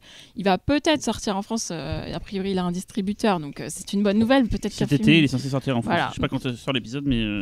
il sort le... Là, cet épisode est en ligne le 3 juillet. mais je pense que ça a peut-être été annoncé entre temps, voilà. mais ce sera pas vraiment mais un bon, mais... pas sûr qu'il soit dans beaucoup de salles. Donc, on si préciser que tu as choisi ton film avant que oui, tu on l'a su, on l'a su il y a quelques jours. Mais du coup, en même temps, on finit sur une note d'espoir. Peut-être que vous pourrez le voir en salle, celui-là.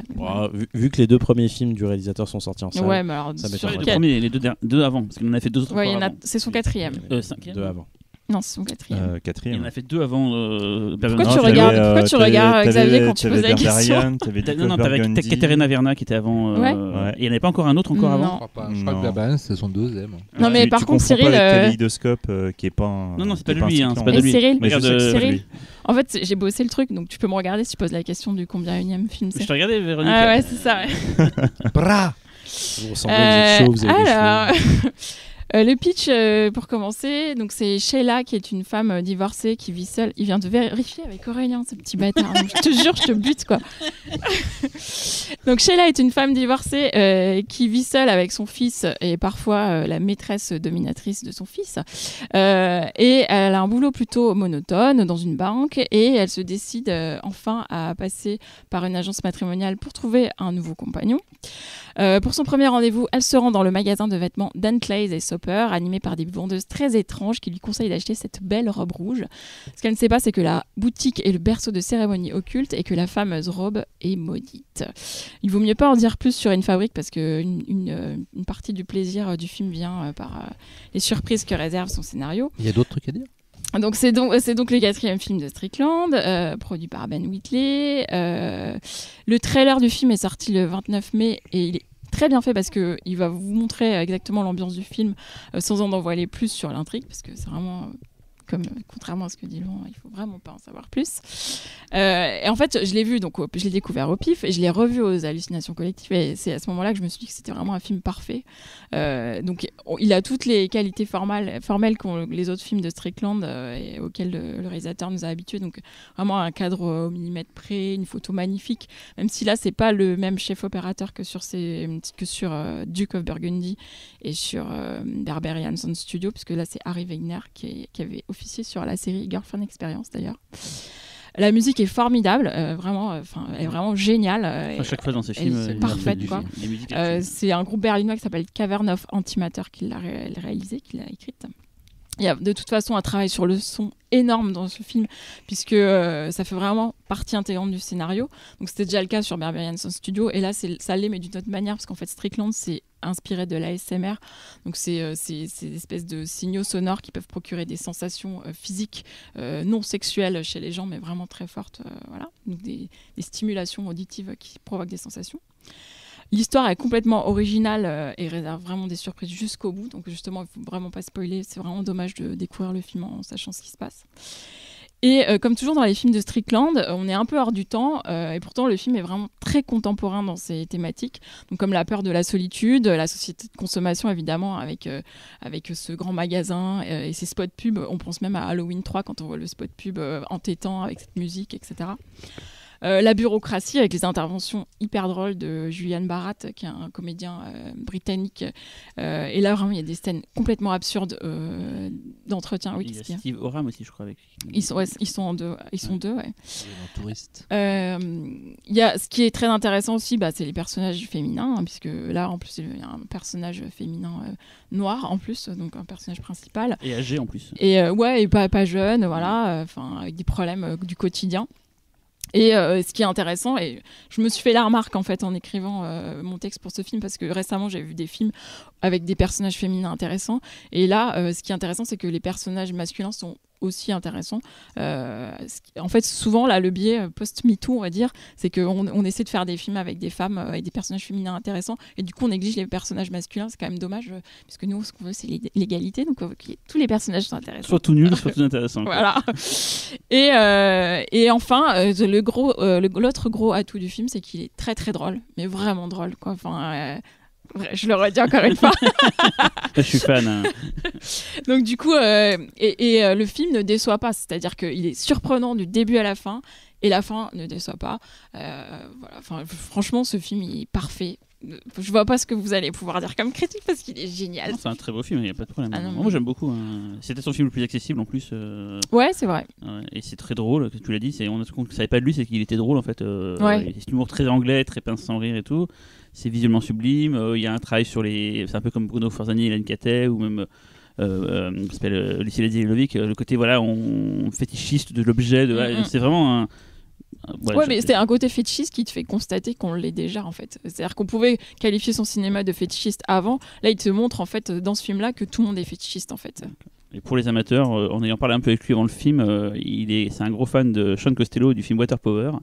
et euh, ceux qui savent vont comprendre. Et apparemment, il m'a dit ouais, tu vas dans le film, il y a une scène, c'est un hommage à Water Power. Alors, c'est pas des hommage tel qu'on pourrait l'imaginer, mais voilà, c'est c'est très, c'est très pointu ce que je viens de dire. Hein. D'accord. Oui, oui, oui. Laurent Water Power, oui, bien sûr. Bah, c'est un film de série lavement.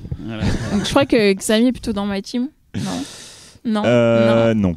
Putain, mais ah, personne n'aime ce bah film. si, j'aime bien. non, non, ah, non, moi, moi mon deux fois. Non, non, moi, mon problème, mon problème, en fait, c'est la structure du film. Voilà. Non, mais dis pas. Voilà. Ouais, mais la deuxième partie est quand même vachement en deçà de la première. Bah, Il y a un énorme bah, problème à ce niveau-là, je trouve. Bah, pas du tout. Ah, mais je trouve que si. Ça, c'est parce que vous êtes frustré en fait. C'est surprenant pour le coup. Pourquoi?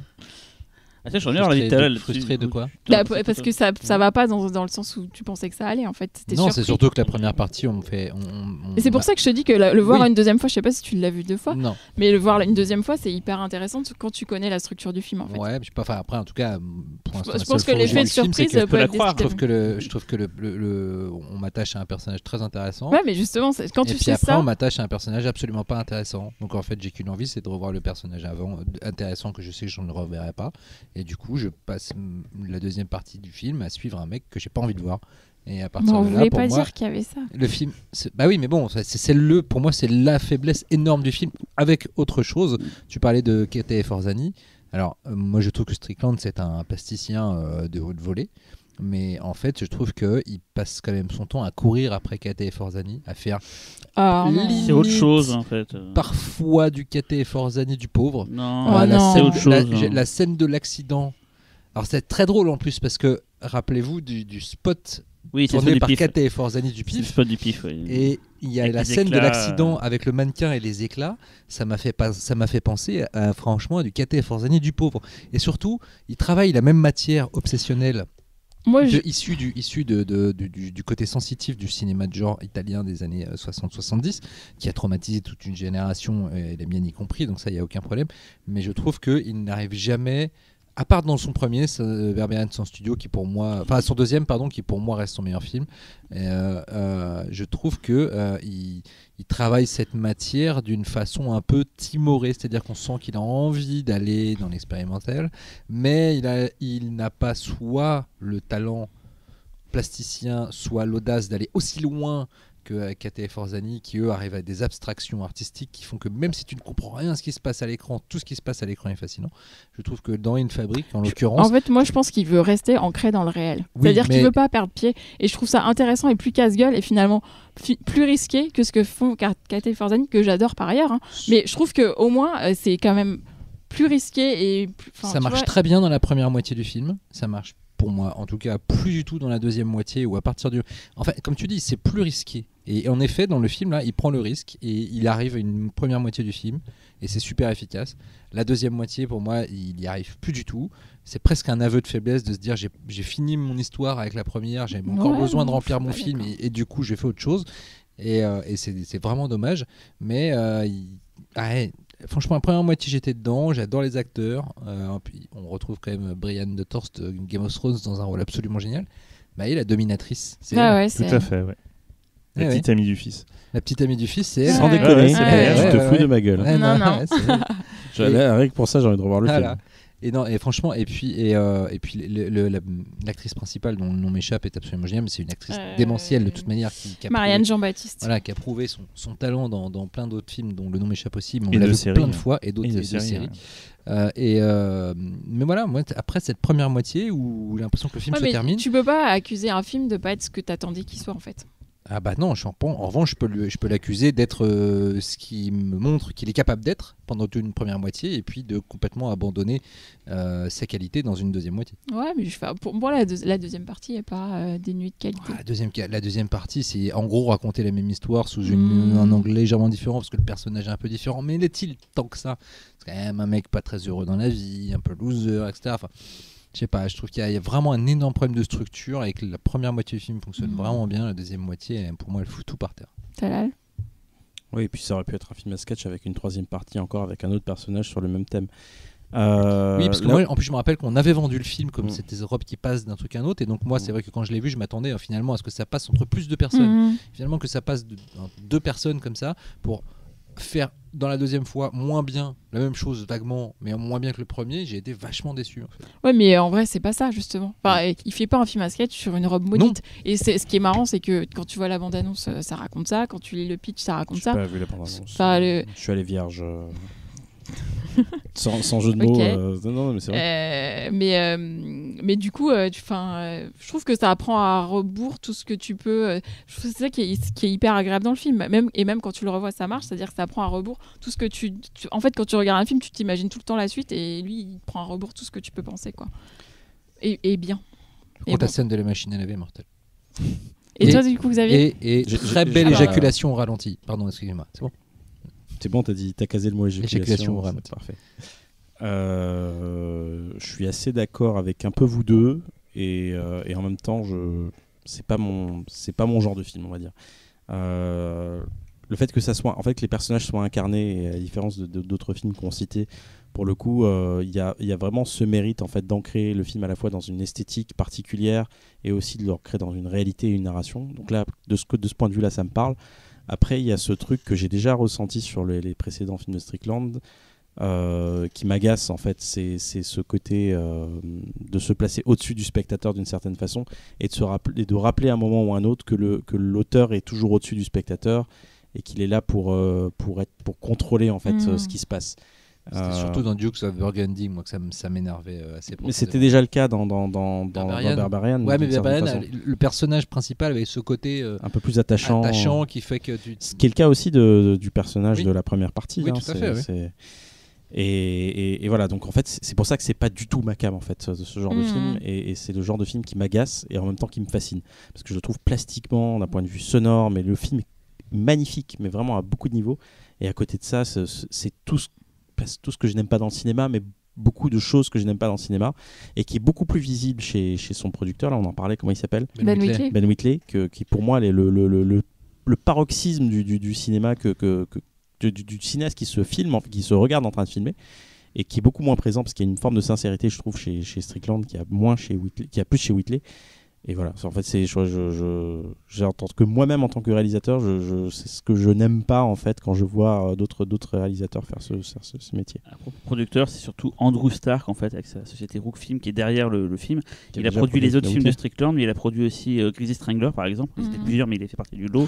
Il a, il a produit euh, le film de Steve Oram, donc on va dire le, le mec de, de Kill List, qui s'appelle euh, Ah, c'est un truc un peu à la thème rock euh, était passé à ton festival, un film assez bizarre et tout. Et c'est un, voilà, c'est un producteur très intéressant en Angleterre qui d'ailleurs, il était venu au pif présenter le film avec Strickland et c'est surtout lui, c'est un sorte de un producteur qui a une patte et qui vraiment la, la, la pose sur ses films et bonne nouvelle. euh, c'est censé se faire, donc j'espère que ça, ça va continuer. C'est lui qui produira le prochain film de Lucille exemple, voilà. Mmh. Je suis très curieux c'est de voir, ça, euh, cool. très curieux de voir ce, ce mélange entre les deux. Quoi. Donc là, voilà, c'est un, c'est un cinéma de posture en fait qui me qui m'agace vraiment. Ouais, c'est c'est cohérent finalement euh, quand tu vois le. Après, j'aime beaucoup les films de Lucille. Euh, bah, moi, en tout cas, de mon côté, euh, voilà. Moi, la première partie, je la trouve vraiment topissime. Euh, Il y a tout ce que j'aime dans le cinéma Strickland. Moi, je précise que moi, Strickland, moi, c'est Duke of Burgundy, mon préféré. Voilà. Jess Franco Forever. Euh, voilà, enfin après, euh, effectivement, moi après la deuxième partie me plaît moins, euh, mais pour moi c'est plus une sorte de ventre mou pendant un certain temps de la deuxième partie avant de revenir à une fin que je trouve quand même assez patate. Et, et, surtout avec un plan que j'ai trouvé quand même assez mortellissime. Je ne dirais pas lequel, mais bon, voilà, quoi, c'est vraiment le plan de fin. Que, voilà, je trouve que c'est une, mm. conclusion bah parfaite pour le film. Donc voilà quoi, moi après c'est euh, en fait je pense aussi qu'il y a un effet, j'aurais aimé l'adorer parce que Duke of Burgundy j'ai tellement mais fissuré sur ce film que je, voilà, une fabrique j'en pouvais même plus de, le voir. Donc du coup il y a une déception là-dessus. Après euh, je préfère ce sera mon, deuxième préféré euh, voilà, vis-à-vis du reste de la filmographie de Strickland. Voilà. À noter toutes les scènes de magasin avec tous les, les, les, vendeuses, ça, ça c'est la partie vraiment un peu un peu un peu suspiriesque, on va dire. Ah oui, totalement, totalement. du film. Mais suspiriesque, euh, drôle. Ouais, voilà. Euh, on termine la musique avec Cyril. Alors, qu'as-tu choisi? Comme on choisit de thématiser les, les, musiques maintenant, du coup, là, il fallait passer la musique d'un film qui n'est pas sorti en France. Et du coup, j'en profite pour parler d'un film dont j'avais déjà parlé dans la précédente euh, itération de cette, de cette thématique des films jamais sortis en France, qui s'appelle Listen of the Evil de Takashi Miike. Takashi Miike, d'ailleurs, qui est un pour rire de film qu'on voit pas souvent en France d'ailleurs, donc il pourrait à lui seul, on pourrait faire 3-4 émissions sur le sujet. Donc c'est un film de 2012, donc j'avais déjà parlé, que je trouve exceptionnel, euh, peut-être un des meilleurs films de Takeshi Miike ever en fait, mais très peu connu bizarrement. Et euh, la musique est de Koji Endo. Alors Koji Endo euh, a, bossé beaucoup dans le cinéma japonais, mais surtout c'est un quasiment, il a fait tous, mais il a fait énormément de films de Takeshi Miike. récemment là, le film qui était à Cannes à la, à la, qui s'appelle Atsukoi, donc First Love en anglais, c'est aussi lui qui a fait la musique. Mais rien que dans les films qu'on a passé au pif, il a fait la musique de Jojo, de Blade of the Immortal et de Molsong. Donc voilà, c'est vraiment un habitué de, de Mickey. Son premier film qu'il a, il a commencé en 94, mais son premier film avec Mickey c'était 97, c'était Rainy Dog et qu'il a fait. Il a fait aussi Full Metal Yakuza dont on avait parlé ici dans la thématique euh, cyberpunk. Et donc là on va écouter le morceau To Be Continue qui est le morceau de fin de, ce film hein, et qui est euh, juste sublime. C'est une BO qui m'a transporté quand, j'ai vu le film. Euh, je me suis même procuré le CD au Japon pour pouvoir l'écouter ad vitam et vous allez pouvoir en profiter là tout de suite avec ce, ce, choix musical de ce très beau morceau de fin de Listen of Evil. Euh, avant d'écouter le, morceau, euh, on vous dit juste qu'on s'arrête pas pendant l'été. Donc, euh, on vous donne tous rendez-vous dans deux semaines pour un prochain podcast. Merci. Merci à vous. Salut. Ciao, ciao. Tchuss.